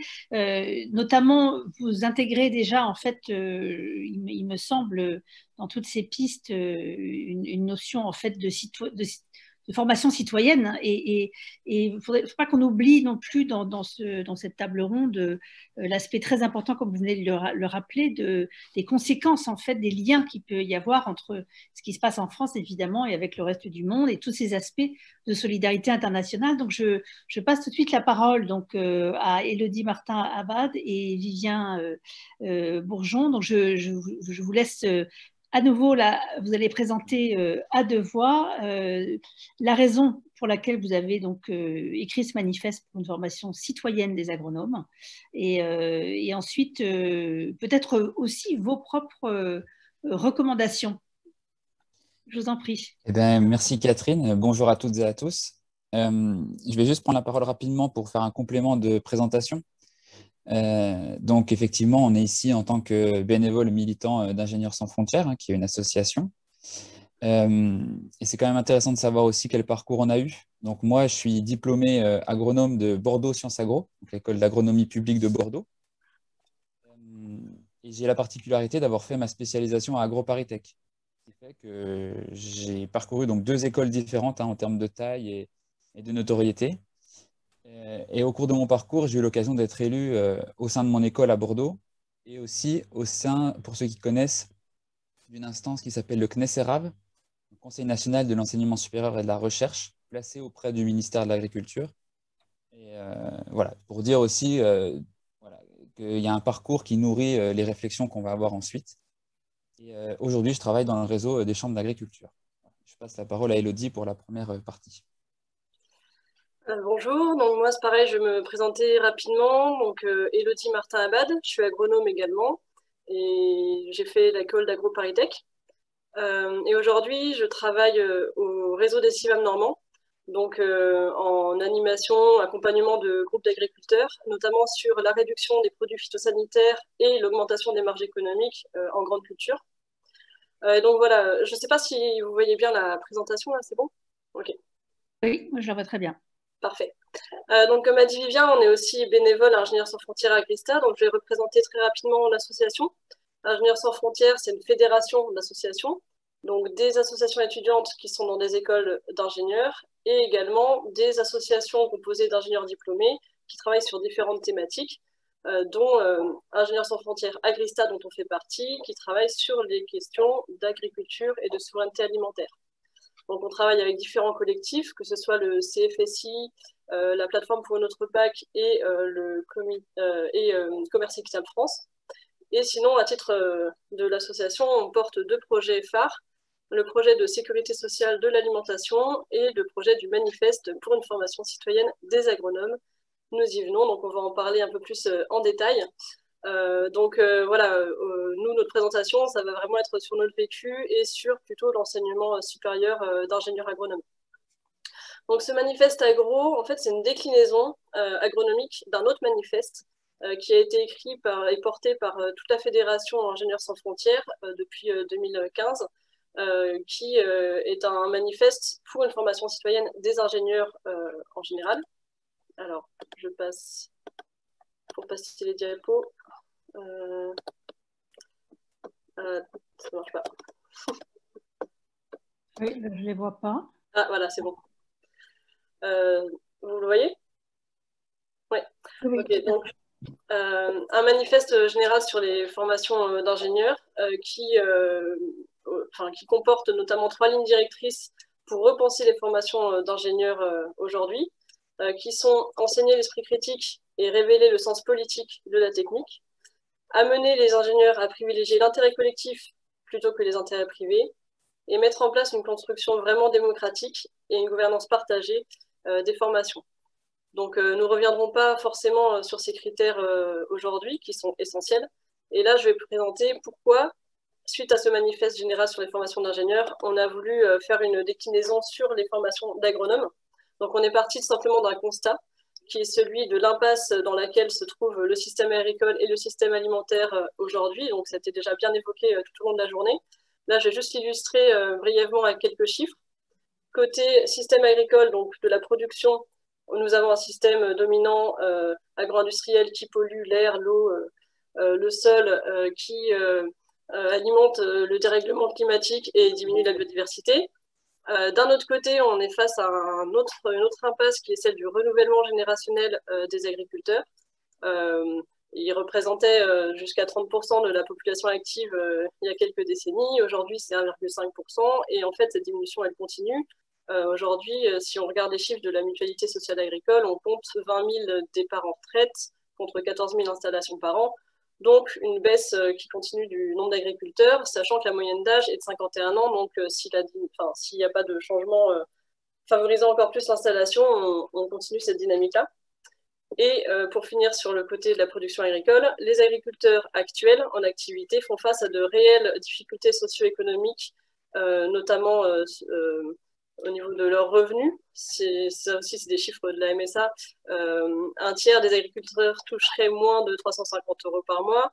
Et on parle très peu de cette thématique-là, même s'il euh, y a des, maintenant un film qui a été réalisé sur la thématique du suicide, euh, où en 2015, on dénombrait jusqu'à 600 suicides dans le secteur agricole, ce qui est supérieur à la moyenne nationale.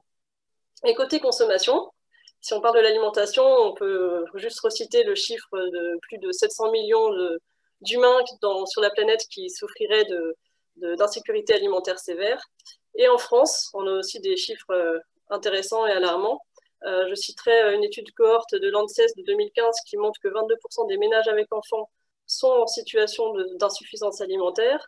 Une autre étude du Secours populaire qui montre que, jusqu'à 14% des Français déclarent devoir sauter des repas pour des questions financières.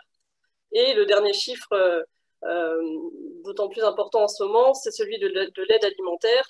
Euh, en 2008, 2,5 millions de Français avaient recours à l'aide alimentaire. En 2019, c'était 5,5 et depuis euh, la crise du Covid, aujourd'hui, on est à 8 millions. Donc une multiplication par 3 en 12 ans et une augmentation de 50% juste avec la crise actuelle. Donc voilà, nous, euh, suite à notre formation, on s'est interrogé sur les éventuels liens qu'il pourrait y avoir entre cette situation que je viens de décrire, qui n'est pas très réjouissante, et euh, le contenu de nos formations. Et là, je laisse la parole à Vivien pour la suite.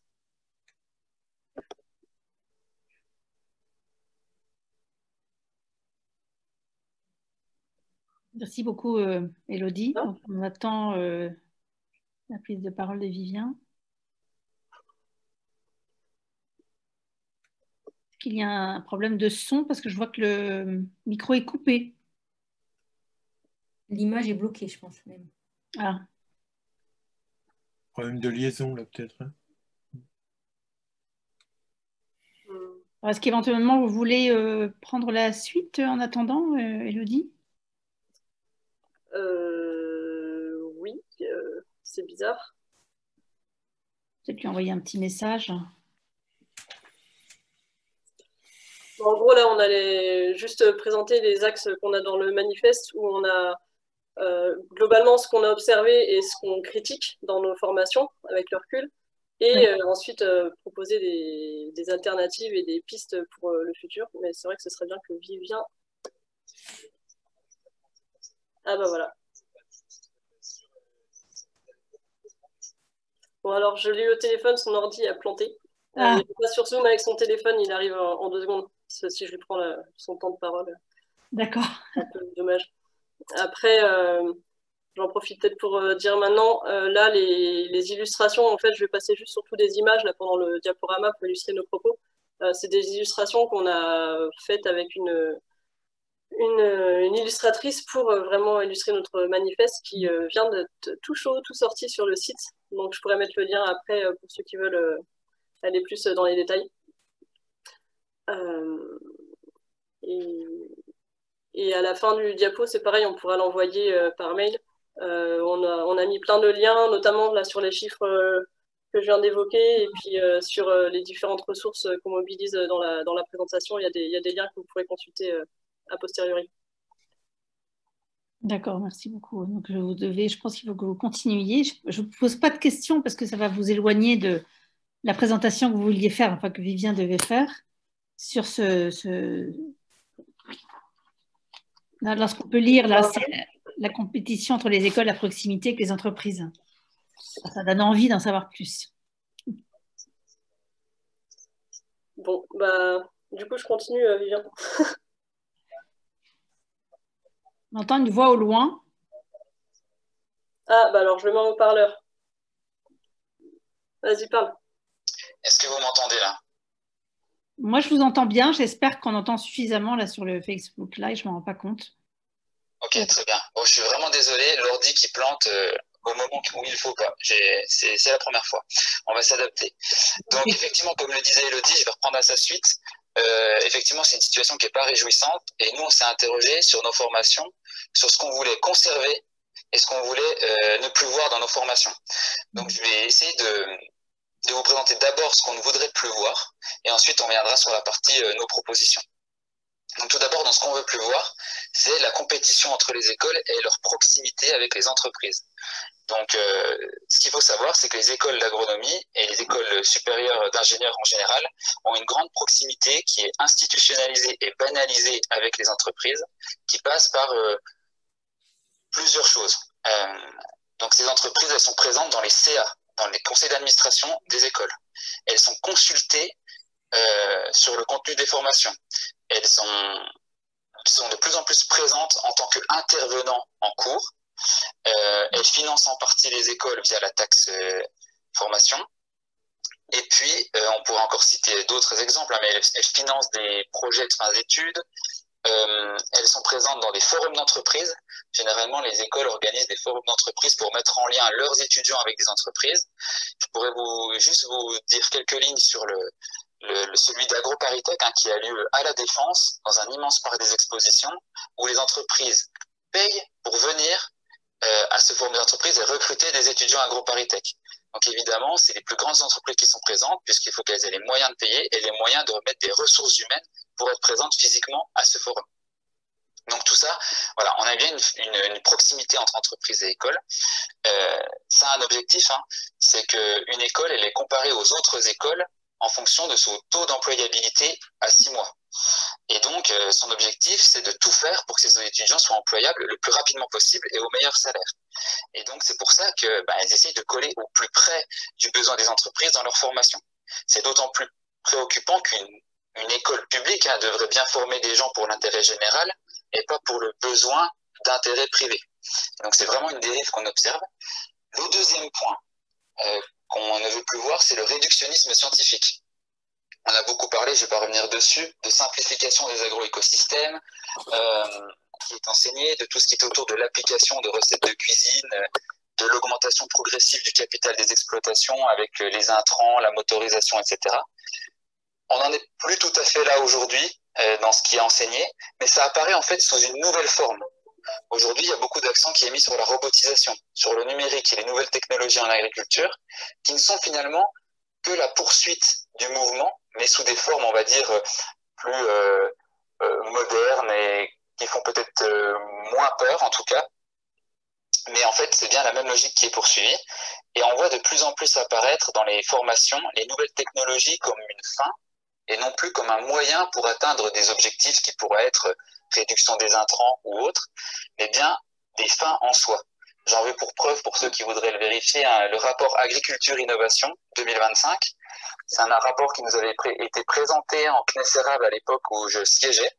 Et on voyait très clairement, objectif numéro 2, développer le numérique en agriculture. Numérique et robotisation en agriculture. Donc c'était un objectif en tant que tel. Troisième point qu'on ne voudrait plus voir, c'est la hiérarchisation du monde agricole.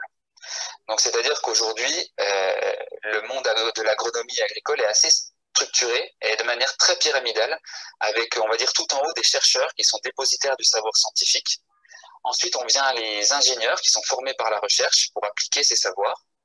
Et eux, ils sont aidés par des techniciens qui conseillent directement les paysans qui se retrouvent tout en bas de la chaîne. Donc ça, on veut plus que ce soit enseigné, on veut plus que ce soit comme ça. Et enfin, le dernier point avec lequel on voudrait euh, couper, c'est une approche qui soit uniquement par la production. On aimerait que les agronomes ils soient, ne soient plus formés à nourrir le monde, mais qu'ils soient formés plutôt euh, à répondre aux besoins des habitants sur des territoires et à la souveraineté alimentaire. Voilà. La, remettre une question de euh, quels sont nos besoins avant de se dire qu'est-ce qu'on produit? Voilà. Et pour euh, faire la, transition avec la partie sur nos propositions, euh, je dirais que voilà, là on a mis en avant quatre points qui nous paraissent particulièrement problématiques. mais que les écoles d'agronomie n'ont pas que des défauts. Elles ont globalement des moyens financiers supérieurs à ce qui se trouve en université ou dans d'autres écoles d'ingénieurs. Il y a des professeurs reconnus et interdisciplinaires, et on y trouve davantage de sciences humaines et sociales que dans d'autres cursus. Mais en fait, tout ce potentiel, ben, il n'est pas mis au service d'une transformation du système agricole et alimentaire. Donc il y a bien des petites poches de résistance. Euh, Elodie et moi, on est bien, placés pour témoigner qu'on a fait une spécialisation euh, euh, qui est très en marge de, des critiques qu'on vient de faire ci-dessus. Mais on pense que ces petites poches de résistance, ben, elles doivent devenir la norme, d'où les propositions qu'on vous fait ensuite. Donc, dans les propositions, la première, c'est qu'on nous apprenne à avoir une posture d'animation et d'accompagnement. Euh, donc, euh, comme on l'a vu, contrairement au système conventionnel euh, actuel avec des recettes et des cultures et des pratiques uniformisées, standardisées, l'agroécologie nécessite d'adapter les pratiques aux contextes locaux. Et du coup, un itinéraire technique qui sera très performant dans une ferme ne sera pas forcément l'idéal dans la ferme d'à côté ou dans la petite région agricole d'à côté. D'où la nécessité d'accompagner les paysans dans cette transition et d'adopter, nous, une posture qui favorise l'échange entre pairs euh, pour, que les agris puissent s'entraider dans cette démarche commune de réduction de leur dépendance, notamment aux intrants extérieurs, et euh, d'autonomisation. Mais ça, pour ça, il faut être formé. Euh, c'est pas juste en sortant d'école avec euh, des connaissances sur les itinéraires techniques conventionnels du blé ou sur la génétique qu'on va pouvoir accompagner des agriculteurs en individuel ou en collectif, organiser des tours de plaine et euh, lever tous les freins au changement qui existent, qu'ils soient techniques, mais aussi sociaux euh, et culturels. Euh, donc ça, voilà, ça, ça, a déjà été évoqué et ISF Agrista a écrit une note particulièrement sur la posture d'accompagnement qu'on qu pourra mettre dans les, dans les références. Euh, et deuxième point, c'est le décloisonnement des savoirs et la recherche participative. Donc, euh, pareil, on, en a déjà un petit peu parlé. Là, Vivien parlait d'une structure pyramidale avec le chercheur et, les paysans en bas, avec un transfert euh, descendant des connaissances. Alors, évidemment, on en a parlé à la première table ronde, euh, c'est en train de changer. L'INRA change aussi et il y a des, on va dans la bonne voie. Mais voilà, nous, on, on propose vraiment qu'il y ait un véritable dialogue entre le savoir paysan et le monde académique pour pouvoir construire et proposer de nouvelles pratiques agroécologiques euh, adaptées euh, aux contextes locaux. Et donc, on pense qu'il est essentiel d'avoir euh, vraiment une, une, une coopération et une approche participative et horizontale de la recherche avec, dans le même groupe de travail, les citoyens, les chercheurs, les paysans et l'agronome accompagnateur. Mais pour cela, également, il faut être formé. Et le rôle spécifique qu'on voit de l'agronome, c'est qu'il parle le langage de tous les acteurs, que ce soit celui du paysan et du chercheur.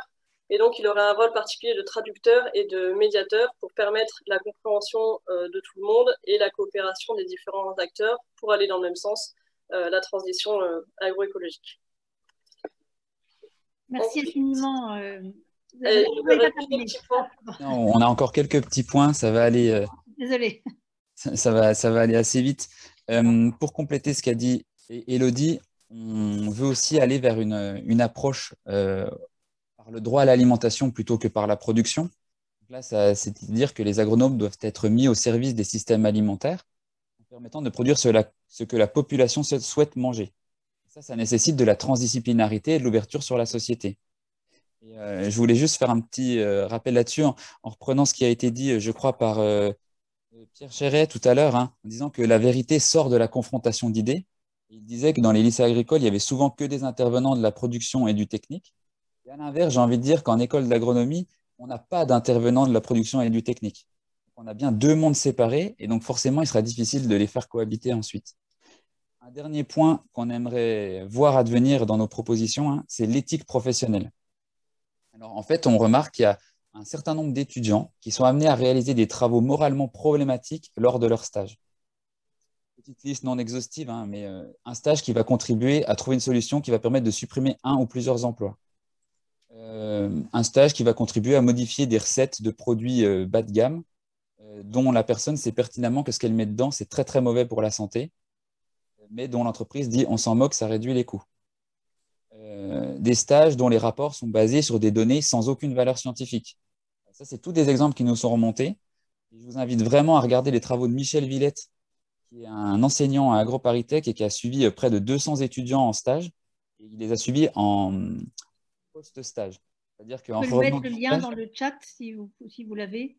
Pas une publication qui est publique en fait. Donc euh, il faut avoir des droits d'accès sur, euh, sur des, des, moteurs de recherche euh, académiques.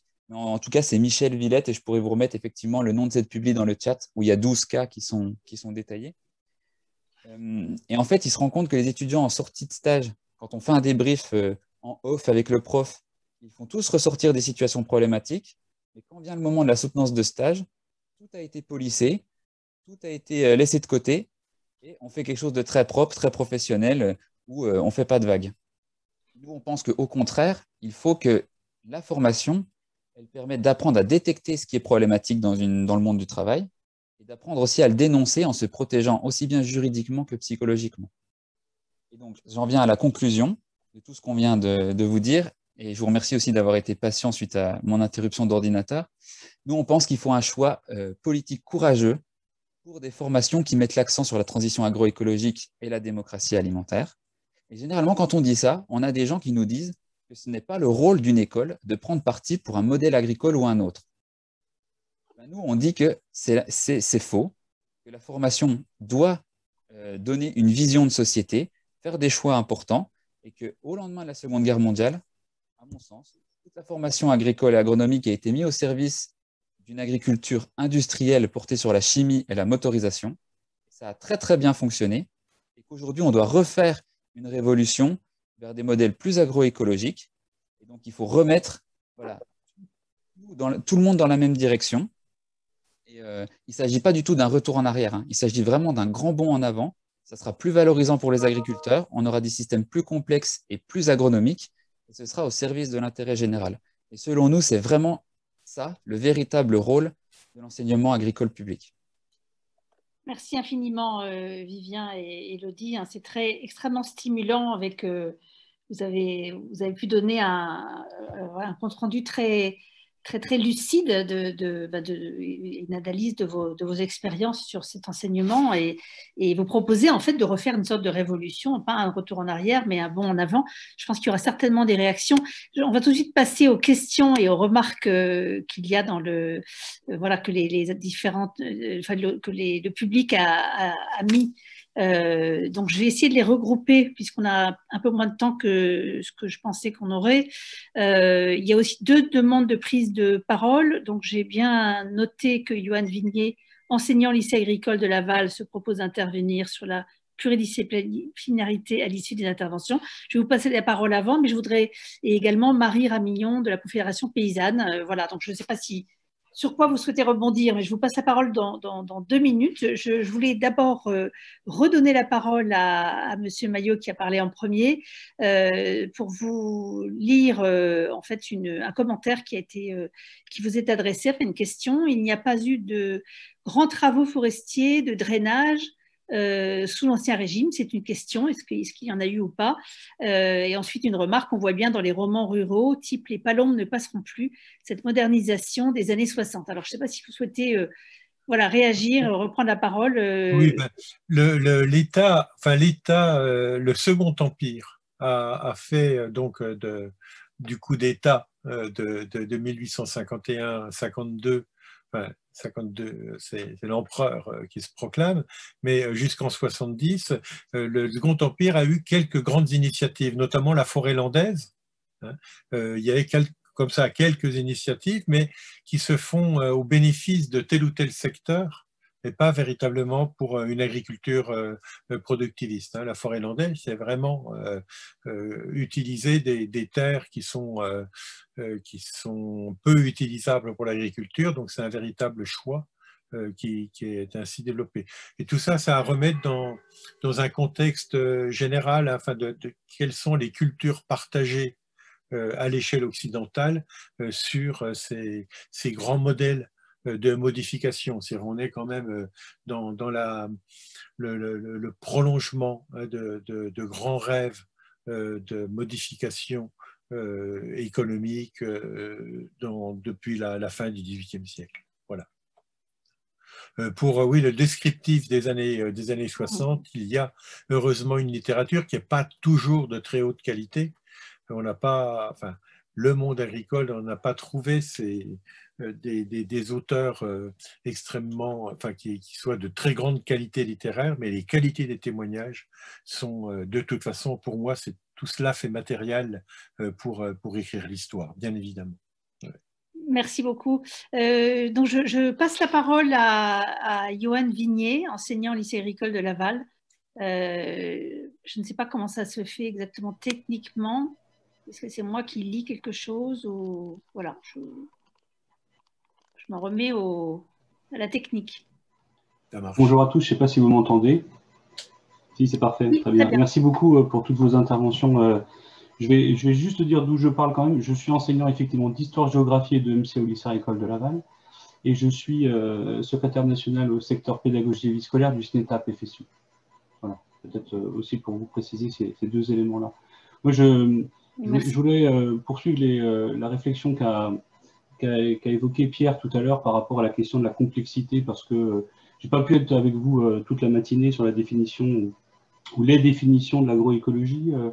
Mais euh, moi, ce que j'ai toujours retenu, ce que je retiens quand même dans cette définition, c'est la question de la complexité. Et enseigner la complexité ou enseigner par la complexité, hein, comme ont évoqué aussi nos collègues de l'NFR, c'est forcément l'enseigner avec plusieurs disciplines qui viennent concourir à faire comprendre un élément. Et, euh, euh, ce que je regrette aujourd'hui, c'est que on réduise parfois, je n'ai pas dit que c'est ce qu'avaient fait les intervenants, mais qu'on réduise parfois euh, l'enseignement de l'agroécologie euh, à EPA, en fait, à enseigner à produire autrement. du coup, euh, ce n'est pas que de la production, mais c'est bien la question des territoires aussi qui est importante.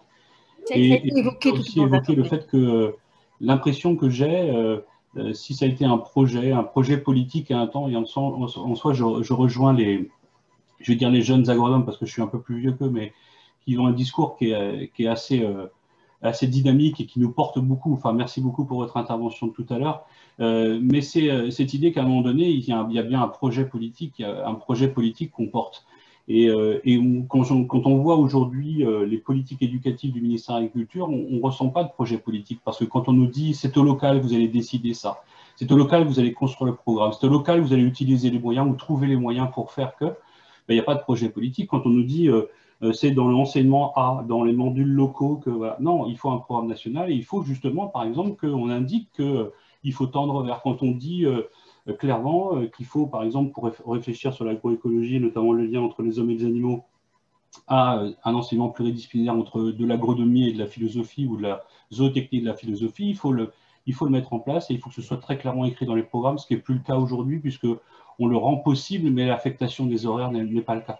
Donc, et je voudrais insister sur quelque chose qui, était, qui a été peu évoqué, c'est la filière générale et technologique dans notre, dans nos formations de l'enseignement agricole technique, parce que c'est un élément majeur aujourd'hui pour faire l'agriculture de demain, parce que ce sont des jeunes qui ne sont pas forcément euh, des fils et filles d'agriculteurs, qui ne sont pas forcément issus du milieu agricole, mais qui du coup, par des formations euh, ou des options, vont pouvoir découvrir ce milieu agricole et peut-être seront les agriculteurs de demain qui transformeront aussi l'agriculture de demain. Et dans les formations générales, eh bien, on a renoncé. Et euh, alors qu'on nous parle de l'agroécologie comme, le cœur aujourd'hui euh, d'une formation qui pourrait porter sur un autre modèle, ben, on a supprimé l'agronomie, l'enseignement obligatoire euh, dans la filière générale. C'est assez particulier. Euh, au moment où on fêtait les 50 ans du bac général agronomie, qu'on appelle bac déprime avant, la même année où on a fêté ces 50 ans, on a supprimé l'agronomie comme matière obligatoire, qui est une matière optionnelle aujourd'hui que les élèves prennent ou pas à l'absence d'option sportive. C'est vraiment dommageable et, je pense que c'est cet élément-là. Et je termine juste en disant que euh, l'enseignement par lequel beaucoup de jeunes découvrent justement cette notion de l'agroécologie, c'est euh, l'option EATDD, écologie, agronomie, territoire et développement durable, qui est vraiment consubstantielle de notre enseignement de seconde générale en lycée agricole. Et elle est pour moi au cœur de ce que, enfin, la conception que j'ai de l'agroécologie, c'est-à-dire euh, des disciplines, alors surtout la biologie, écologie et l'agronomie, qui sont en termes de volume horaire plus présentes, mais d'autres disciplines comme l'éducation socioculturelle, qui est qui est une discipline assez extraordinaire de l'ancienne école, mais aussi l'histoire-géographie, mais aussi les sciences économiques et sociales, et qui permettent de comprendre un territoire, un territoire rural, et notamment la question de la production agricole sur ce territoire. Et donc, il faut des heures, il faut des moyens pour que ces enseignants puissent discuter et collaborer ensemble et faire comprendre à ces jeunes toute cette complexité. Voilà. Merci à vous. Merci beaucoup pour votre intervention. Est-ce que l'un des intervenants souhaiterait réagir justement sur cette filière générale? Et, aussi la disparition de l'agronomie Est-ce que oui, éventuellement, Madame André. Oui, je vous en prie. Euh, je vais baisser la main puisque j'avais levé la main. Oui, euh, alors moi, très, loin de moi l'idée d'avoir euh, d'oublier d'oublier le, bac général et le bac techno. Au demeurant, je vous ai, je vous ai pas tout précisé, mais j'ai fait un bac des primes. Donc je fais partie de ceux qui, qui ont été sur ce sujet. Et donc par définition, pour faire écho à ce qui vient d'être dit, par définition, l'agroécologie, c'est une approche systémique. Et par définition, cette approche systémique, elle doit intégrer euh, pas la quasi-totalité des matières, mais un grand nombre de matières. Parce que sinon, ça n'a pas de sens. Ça perd de son sens, ça, perd de sa substance. Et, on ne peut pas avoir un, regard agroécologique sur euh, pour l'agriculture, mais comme le territoire aussi, parce que c'est un élément important, sans avoir une approche géographique, historique, économique. Euh, enfin, je veux pas que ce soit la tarte à la crème, mais voilà, en tout cas, voilà, c'est une approche systémique de pluridisciplinarité. Et en tout cas, dans mon propos, loin était de moi euh, d'écarter euh, quoi, quoi que ce soit en ce terme. Et tout ça, en plus, ça vient alimenter et, et accrémenter la réflexion euh, agroécologique et la réflexion agronomique, bien évidemment, et, et, de former le citoyen, parce que tout ça est, est un petit peu indissociable. J'étais un petit peu à la serpe pour faire vite, mais.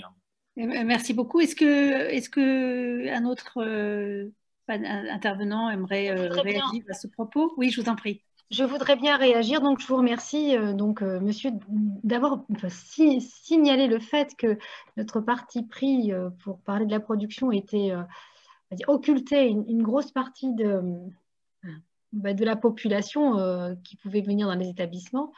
Et vous avez raison de souligner donc l'importance de cette formation générale et de l'enseignement général et en, m'appuyant sur le bac technologique que j'ai essayé de, présenter, il, a, même si euh, les questions de pluri animent les équipes, donc euh, je sais que tout ne peut pas se régler au local, mais quand même il y a un certain nombre de choses en termes de choix politiques qui peuvent être réalisés au niveau des établissements. Vous avez souligné le problème des moyens.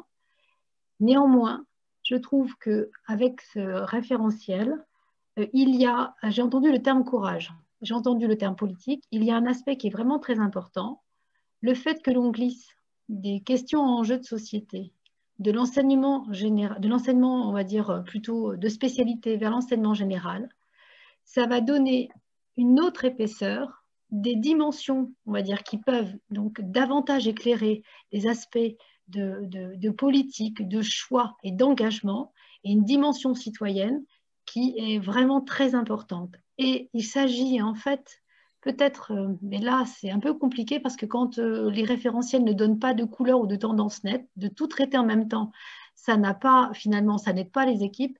C'est vraiment, quelque part, il y a comment on pourrait aider les équipes à, avoir plutôt des stratégies didactiques qui soient davantage politiques ou politisées?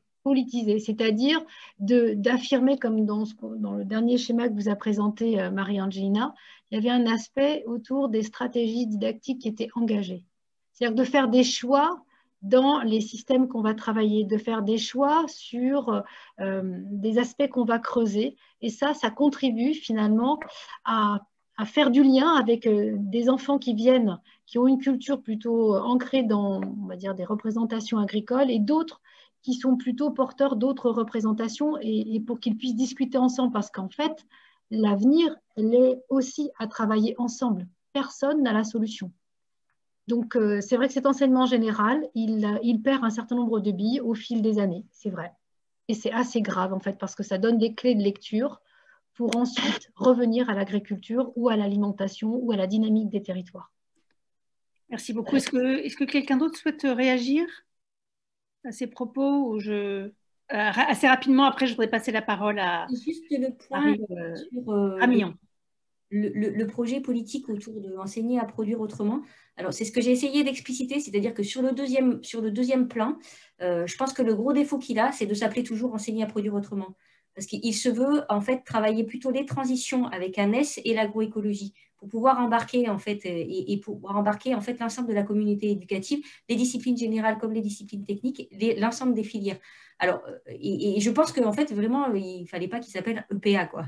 Donc, euh, voilà, c'était voilà, je, voilà, je voulais juste souligner ça et que et je pense en fait qu'il faut garder le cap. C'est-à-dire que quand même, ça crée des dynamiques. Alors, on peut, c'est en cours, on peut toujours dire critiquer, avoir des critiques, etc. Ça va pas assez vite, euh, voilà. Mais il n'empêche que ça génère des choses euh, dans les établissements, dans les territoires. Euh, et, donc, effectivement, il y a du travail encore à faire, mais je, pense qu'il est structurant. Et la déclinaison, en fait, la gouvernance aussi régionale a du sens. Parce que quand on parle en fait d'agroécologie, quand même, c'est un contexte. Et la déclinaison ne va pas être les mêmes en fonction des enjeux des territoires. Donc ça, je, pense que je, voilà. Voilà, je voulais juste dire ça, en fait. Juste, si vous le permettez, euh, euh, enfin, vous vous remerciez toutes et tous de, de, ce, de ces plaidoyers euh, sur la pluridisciplinarité. Enfin, merci parce que c'est, enfin, on aurait pu, chacun pourrait s'enfermer dans le côté techniciste ce qui a été beaucoup trop fait et que cette ouverture que vous, que vous pratiquez, moi, me, me, va, me va droit au cœur. Et euh, deux choses quand même, j'ai pas rectifié mon CV tout à l'heure, euh, Catherine André, parce que je savais déjà que j'avais peu de temps et j'avais pas envie de le... Bon, euh, dans, dans, dans, ma longue vie, j'ai été très, très proche de Stéphane Le Foll, député européen.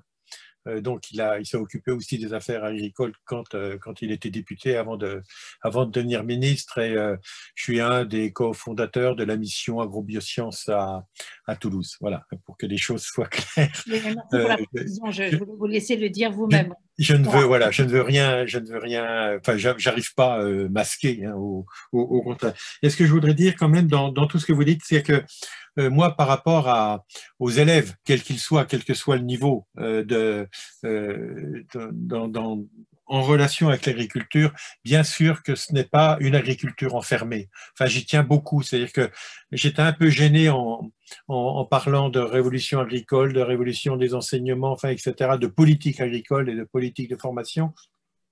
Pourquoi faut-il toujours mettre l'agriculture à part? Et je crois qu'on a les difficultés euh, aujourd'hui, enfin les fortes inquiétudes sociétales, on va dire du consommateur. Enfin, le consommateur, c'est aussi un citoyen, c'est aussi une citoyenne. Et donc, euh, euh, est-ce qu'il faut encore, enfin, comment penser l'inclusion complète dans, la société et non pas comme un, monde à part? Et pour, pour les jeunes à, initier au minimum à l'agroécologie, moi, il me semble extrêmement important qu'ils puissent, au moment où ils s'installent, avoir quelques outils, quelques armes, quelques réflexions euh, que, que l'on est capable de donner euh, en, sur leur propre, comment ils peuvent organiser leur propre transition, et mais aussi ça n'a pas été dit pendant notre table ronde et je regrette bon, j'avais d'autres engagements ce, ce, matin en début d'après-midi, mais c'est aussi tout ce qui est en relation, enfin qui est en relation avec le vivant et pas simplement la question de l'animal. C'est le vivant d'une façon générale dans notre société. Et je crois que là-dessus, il, y a beaucoup, beaucoup à faire et c'est par ces jeunes gens euh, que l'on peut, euh, que l'on doit, à mon avis, euh, passer dans ce travail de, important hein, qui, mobilise beaucoup de, beaucoup de discipline et de, et de réflexion. Voilà, c'est tout sans, sans être donneur de leçons. Merci beaucoup. Il y a pas mal d'autres qui, tombe. Euh, donc j'ai promis de passer la parole à Marie Ramillon de la Confédération paysanne en vous demandant de ne pas être trop trop euh, longue si c'est possible puisqu'il nous reste un, juste un quart d'heure. Et ensuite j'ai une question pour euh, une question donc pour Elodie sur les ingénieurs réseau des groupes Delphi et GIE. Donc je vous passerai la parole ensuite. donc c'est à vous. Je laisse la technique permettre de parler. Oui, c'est bon, là, vous m'entendez? Oui. Ok, oui, ben, bonjour à tous. Oui, moi je vais faire être très rapide. J'ai juste une réaction. Donc, je suis euh, éleveuse militante Confédération paysanne. Et dans une première vie, j'ai été en fait enseignante en lycée agricole.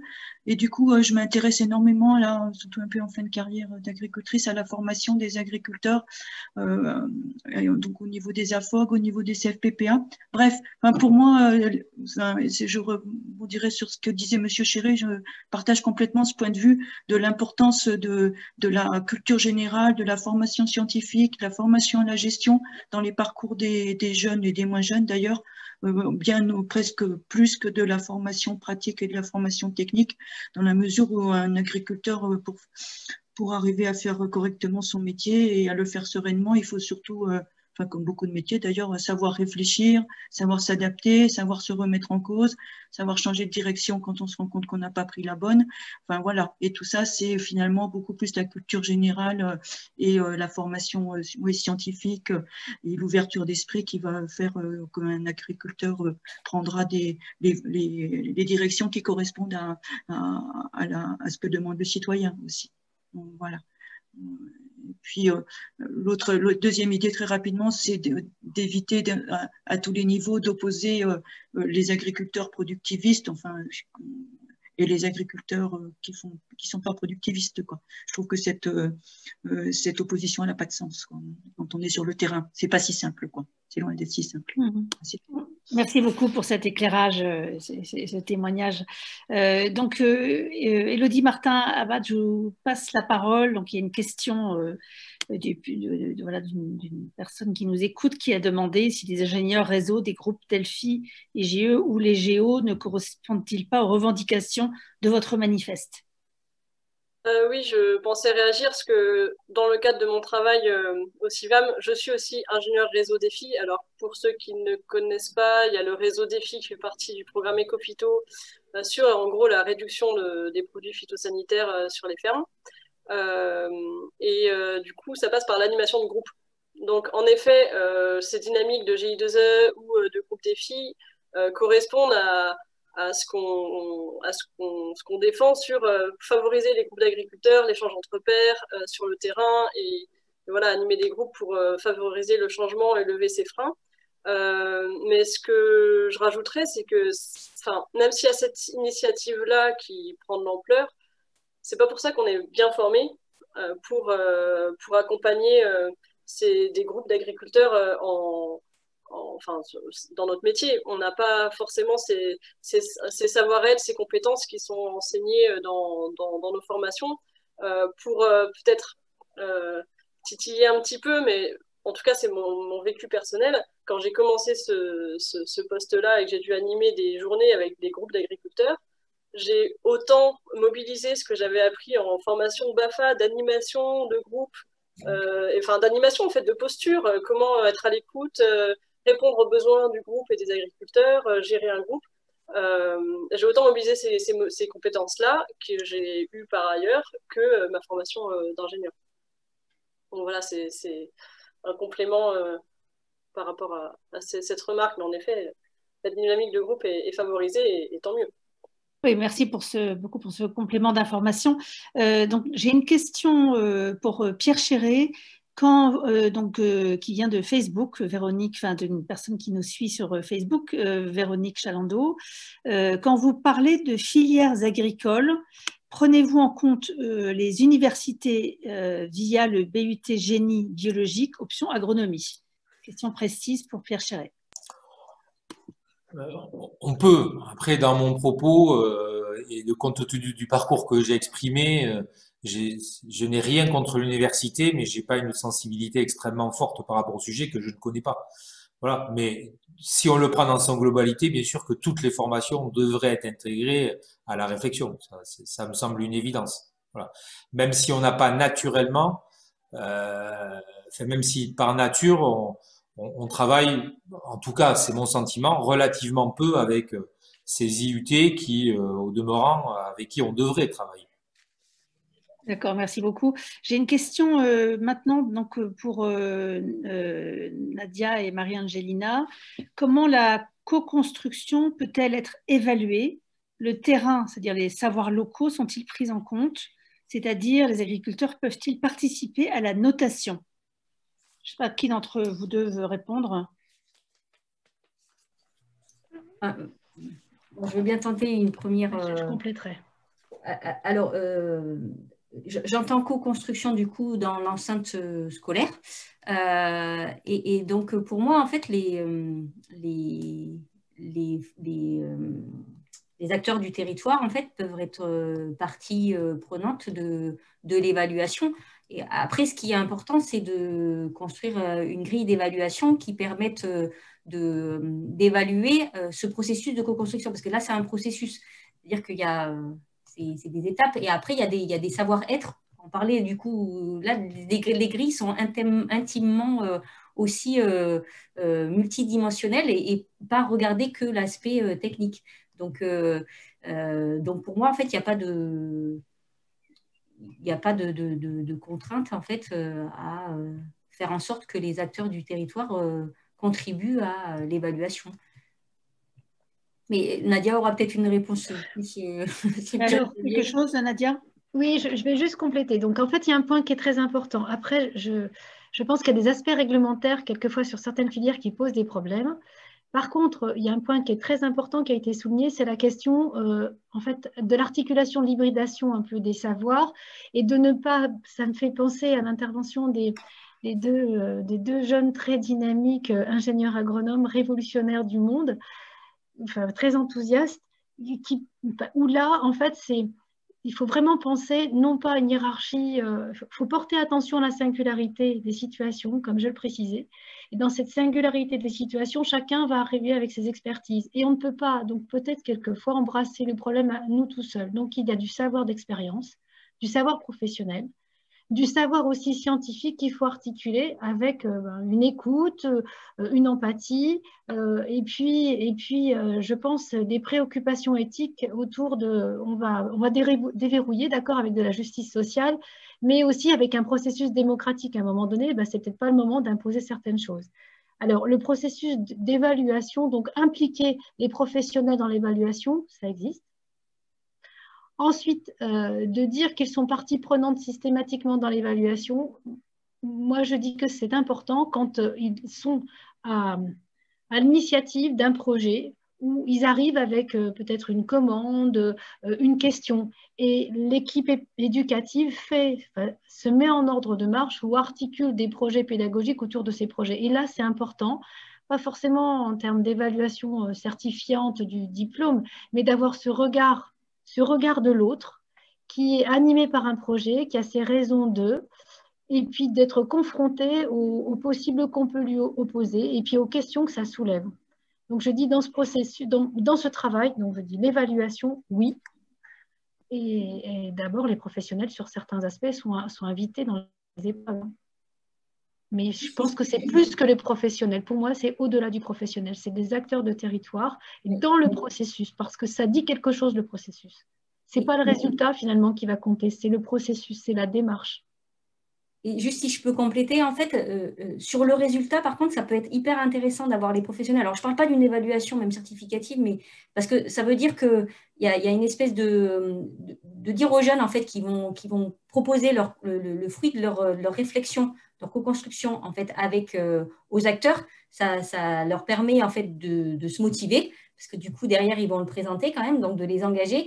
Deuxièmement en fait ça permet euh, du coup d'avoir une de pouvoir discuter avec des professionnels potentiellement en fait de futurs pairs ou des futurs acteurs avec lesquels ils vont avoir à travailler de ces solutions-là, des conditions d'existence, etc. Donc voilà. Et le deuxième chose en fait, c'est que moi, des fois, ça permet de décaler les professionnels aussi des propositions qui peuvent être un peu euh, de l'ordre un peu moins euh, du pensable ou de l'imaginable, ça permet de décaler et du coup de faire réfléchir aussi les professionnels. D'accord, merci beaucoup. Je vais poser une, une autre question euh, donc, qui, qui, vient de, aussi de, du Facebook Live posée par Zélie Vertin. Ne pensez-vous pas qu'aller vers plus d'agroéconomie permettrait de changer le regard négatif que certains citoyens portent sur les agriculteurs? Le métier n'aurait-il pas à y gagner en termes d'attractivité du métier? Alors, est-ce qu'éventuellement, euh, Elodie, euh, Martin ou, Vivien, vous souhaitez répondre? Euh, Non, bah, simplement pour donner quelques, éléments. je pense que oui, la réponse est oui aux deux questions. ça va redonner de l'intérêt pour le métier et il y en a besoin. Et d'ailleurs, je pense qu'aujourd'hui, mais ça, il faudra que vous me confirmiez par des chiffres, les gens qui entrent en formation agricole sont majoritairement non issus du milieu agricole. Et je pense qu'une grande partie, euh, bah, du coup, n'arrive pas avec ce carcan d'un modèle, etc., et veut proposer complètement autre chose, et se sent parfois enfermé dans, un système qu'il faut dépasser. Et donc, euh, plus on va parler agroécologie, mieux ce sera. Et en plus, derrière, je pense qu'il y, a des choses, euh, on a des études qui nous montrent hein, que des systèmes économes et autonomes en intrants sont plus efficients que les autres, notamment sur les questions d'élevage. Hein. Je rebondirai en disant, en citant quand même deux freins euh, à l'installation des jeunes, notamment sur des projets un peu plus, euh, on va dire, de diversification agroécologique. C'est le premier, c'est l'accès au foncier, donc qui est très bien connu et cerné. Et le deuxième, c'est aussi quand on parle de la PAC et de l'installation.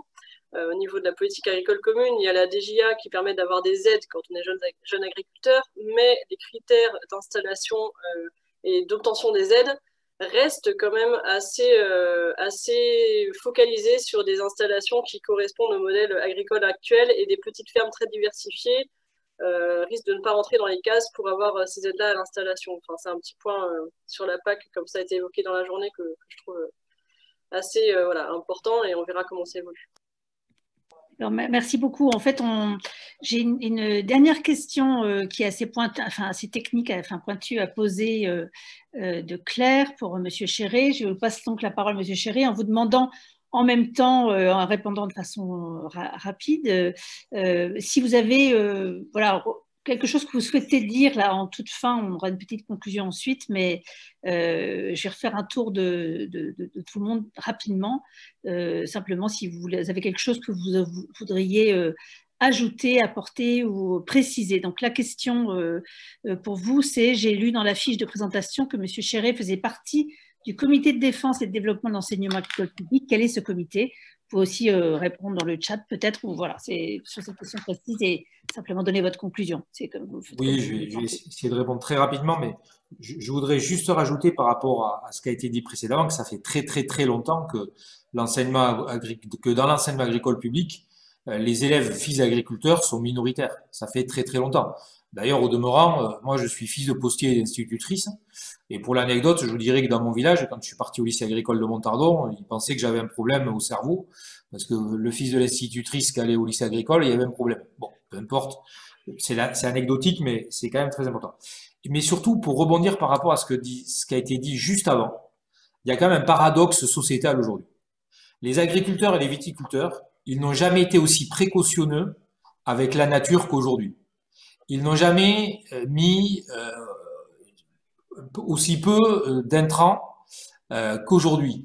Et dans le même temps, ils n'ont jamais été autant montrés du doigt. Alors, je dis pas que c'est parfait, je dis pas que c'est bien, c'est pas c'est pas le sujet. Mais je parle du, paradoxe de l'image et de la communication. Donc, dans le moment où les agriculteurs et les viticulteurs font des efforts très importants, ils sont stigmatisés par la société et par les médias. Et ça, c'est extrêmement difficile à vivre. Et pour faire avancer le sujet du basculement vers une agriculture plus autonome, plus euh, biologique, plus respectueuse, etc., c'est extrêmement difficile parce qu'ils ont fait énormément d'efforts, parfois contre leurs convictions, et ils sont euh, stigmatisés, plus toutes les âneries qu'on entend. Je vous donnerai qu'un exemple, puisque je suis aujourd'hui au château La Tour Blanche, on est en conversion bio. Euh, il n'y a pas très longtemps, il y a un mec qui arrive en voiture, au frein à main sur le parking, qui rentre dans mon bureau, qui est à la limite de m'insulter, qui dit c'est scandaleux, vous êtes en train de traiter, vous ne nous avez pas prévenu. Ouais, j'avais un enjambeur dans les vignes, mais l'enjambeur, il était avec une rogneuse, il faisait juste que tailler le haut des plantes mécaniquement. Euh, et ça, quand vous, alors moi, il vient dans mon bureau, ça me fait presque sourire. Mais l'agriculteur qui aujourd'hui gagne 350 euros par mois, quand on lui balance ça dans la tronche, excusez-moi d'être familier, eh bien à un moment donné, c'est compliqué. Et si on n'arrive pas à lever et à mieux faire comprendre la société avec l'agriculture, ce sera extrêmement difficile. Avant, il y avait une certaine compréhension qui était liée au fait que tout le monde avait un père ou un grand-père agriculteur. C'est plus vrai ça. C'est fini. Il y a une rupture qu'il faut euh, reconstruire. Euh, du coup, j'ai oublié la question, Madame André. Euh, oui, en fait, c'était une question précise concernant. ah oui, le comité de défense. éventuellement, on peut mettre dans le chat pour.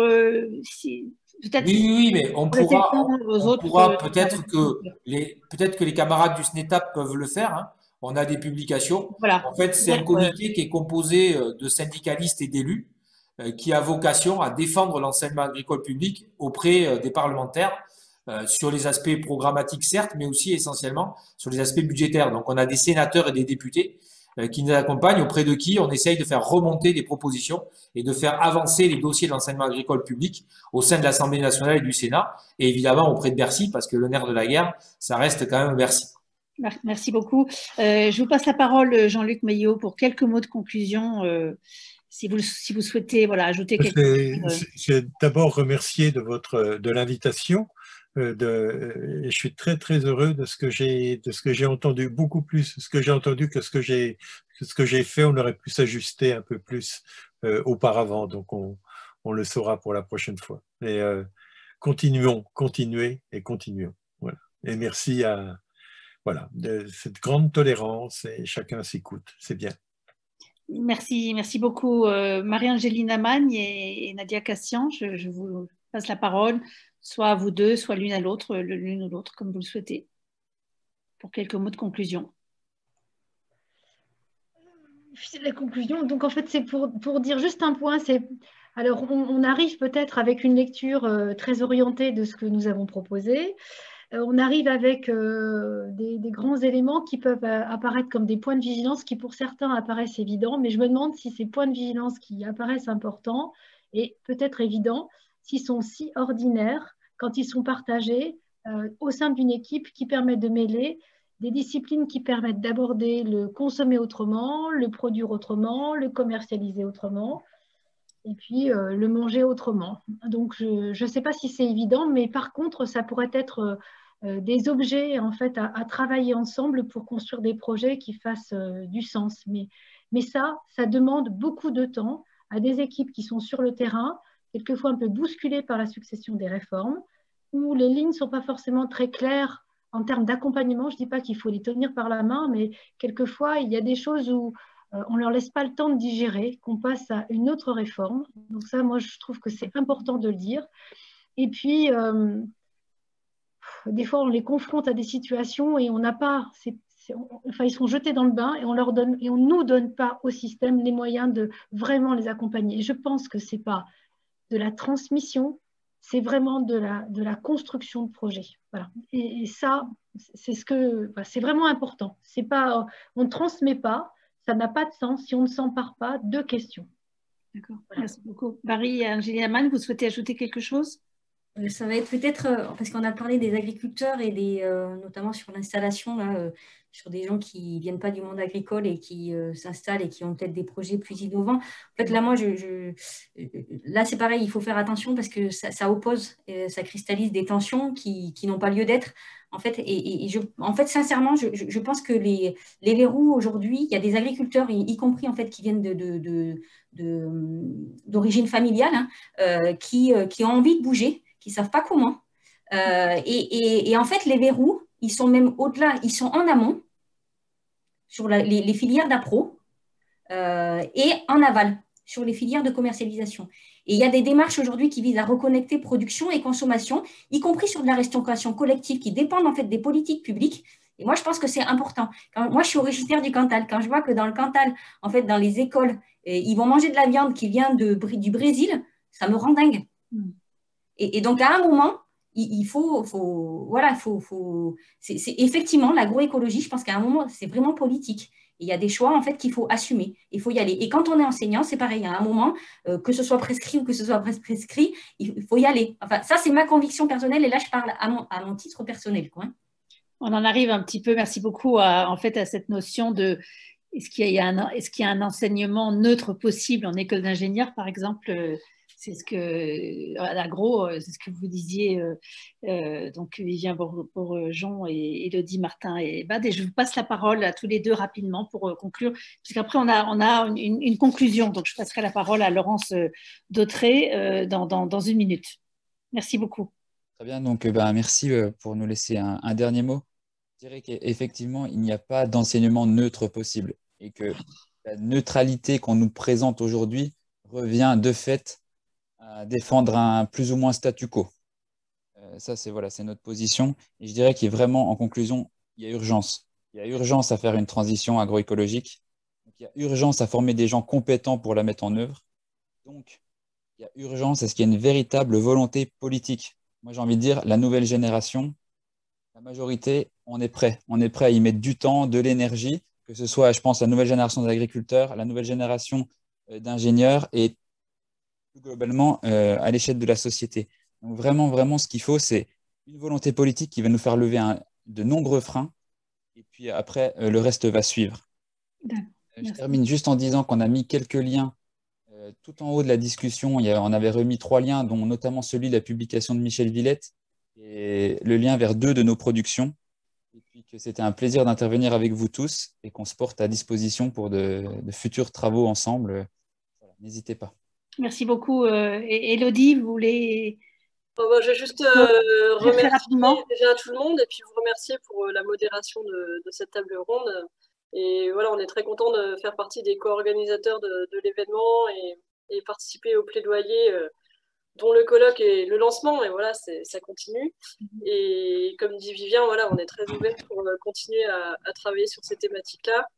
Euh, je voyais qu'il y avait une question qui demandait si, quelle était la réception du manifeste dans les écoles et si l'enseignement agricole pouvait comporter ce manifeste. Alors, il est tout récent. Euh, là, voilà, il est vraiment sorti, euh, tout, terminé il n'y a même pas un mois. Donc euh, oui, on est dans la phase de diffusion et une, collaboration avec l'enseignement agricole est vraiment la bienvenue et, une collaboration tout court pour diffuser l'agroécologie le plus loin possible par-delà les frontières. Merci infiniment à vous toutes et tous, les intervenants. C'était absolument passionnant. toute la journée était, je, je trouve, absolument, absolument passionnante. On a appris euh, énormément de choses. Il y a plein de pistes, plein d'idées. Je passe tout de suite la parole en m'excusant pour ces cinq minutes de retard euh, sur le timing que j'avais essayé de, garder à, Laurence Dautré, donc du, SNETAP euh, euh voilà, secrétaire générale adjointe du SNETAP FSU, secteur politique, scolaire et laïcité. Merci à vous tous. Bon, merci beaucoup. Moi, je vais commencer aussi par, par des mots de remerciement. Bien évidemment, tous nos remerciements à Alternatives économiques pour leur partenariat et principalement pour Antoine, Yann et Catherine qui ont bien voulu donc euh, animer les, trois tables rondes. Ensuite, bien évidemment, les remerciements à tous les invités, tous les intervenants hein, pour la qualité de leur intervention. Je pense que là, euh, nous sommes tous d'accord pour relever cette, euh, cette qualité. Pour toutes les organisations, organismes hein, qui ont participé à, à ce colloque et bien évidemment à tous les euh, participants, les auditeurs hein, qui nous ont suivis durant cette journée. Et dans un deuxième temps, hein, pour ne pas conclure, comme on dit, euh, je dirais que euh, toutes ces interventions quand même nous, disent l'enjeu de, de, l'agroécologie pour une agriculture respectueuse de l'environnement, de l'être humain et bien sûr de l'animal. Ça nous dit aussi, je crois que ça a été, c'était notre fil conducteur quand même, que que finalement c'est une question vive, hein, c'est une question qui, doit être euh, prise et accaparée par la société civile et non pas seulement par les branches professionnelles comme c'est le cas actuellement. Je crois que ça c'est vraiment quelque chose qui est important. On a vu hein, que ce soit ici ou ailleurs, hein, euh, je pense au, témoignage des, amis d'Afrique de l'Ouest qui montrent aussi l'importance de la société civile donc ça prouve bien que les branches professionnelles aujourd'hui ne peuvent pas les seules avoir la main sur l'élaboration des programmes. Et ça nous dit aussi que l'agroécologie, en tout cas la question de l'éducation, de la formation des jeunes et des moins jeunes hein, dans, l'agriculture, ce n'est pas seulement une question de saupoudrage dans, dans les programmes, hein. c'est bien voilà, quelque chose de complexe, hein, comme tout le monde, comme ça a été souligné par beaucoup. Mais voilà, c'est cette complexité qui en fait la richesse et qui ne peut pas donc être seulement du saupoudrage. Et donc voilà, je dirais que ce, bah, cet événement d'aujourd'hui, finalement, c'était cette première marche, première marche euh, du, plaidoyer, plaidoyer qui va se continuer, donc vous l'avez compris, hein, avec un objectif quand même qui est très politique, hein, euh, de revenir à une, prise, en, compte et une prise en main de ces questions vives par la société civile. Et, ce ça répond bien donc à cette définition du plaidoyer, hein, qui est bien euh, la défense de l'intérêt général. Voilà, merci à tous et à toutes, et à la prochaine pour euh, une seconde initiative pour notre plaidoyer.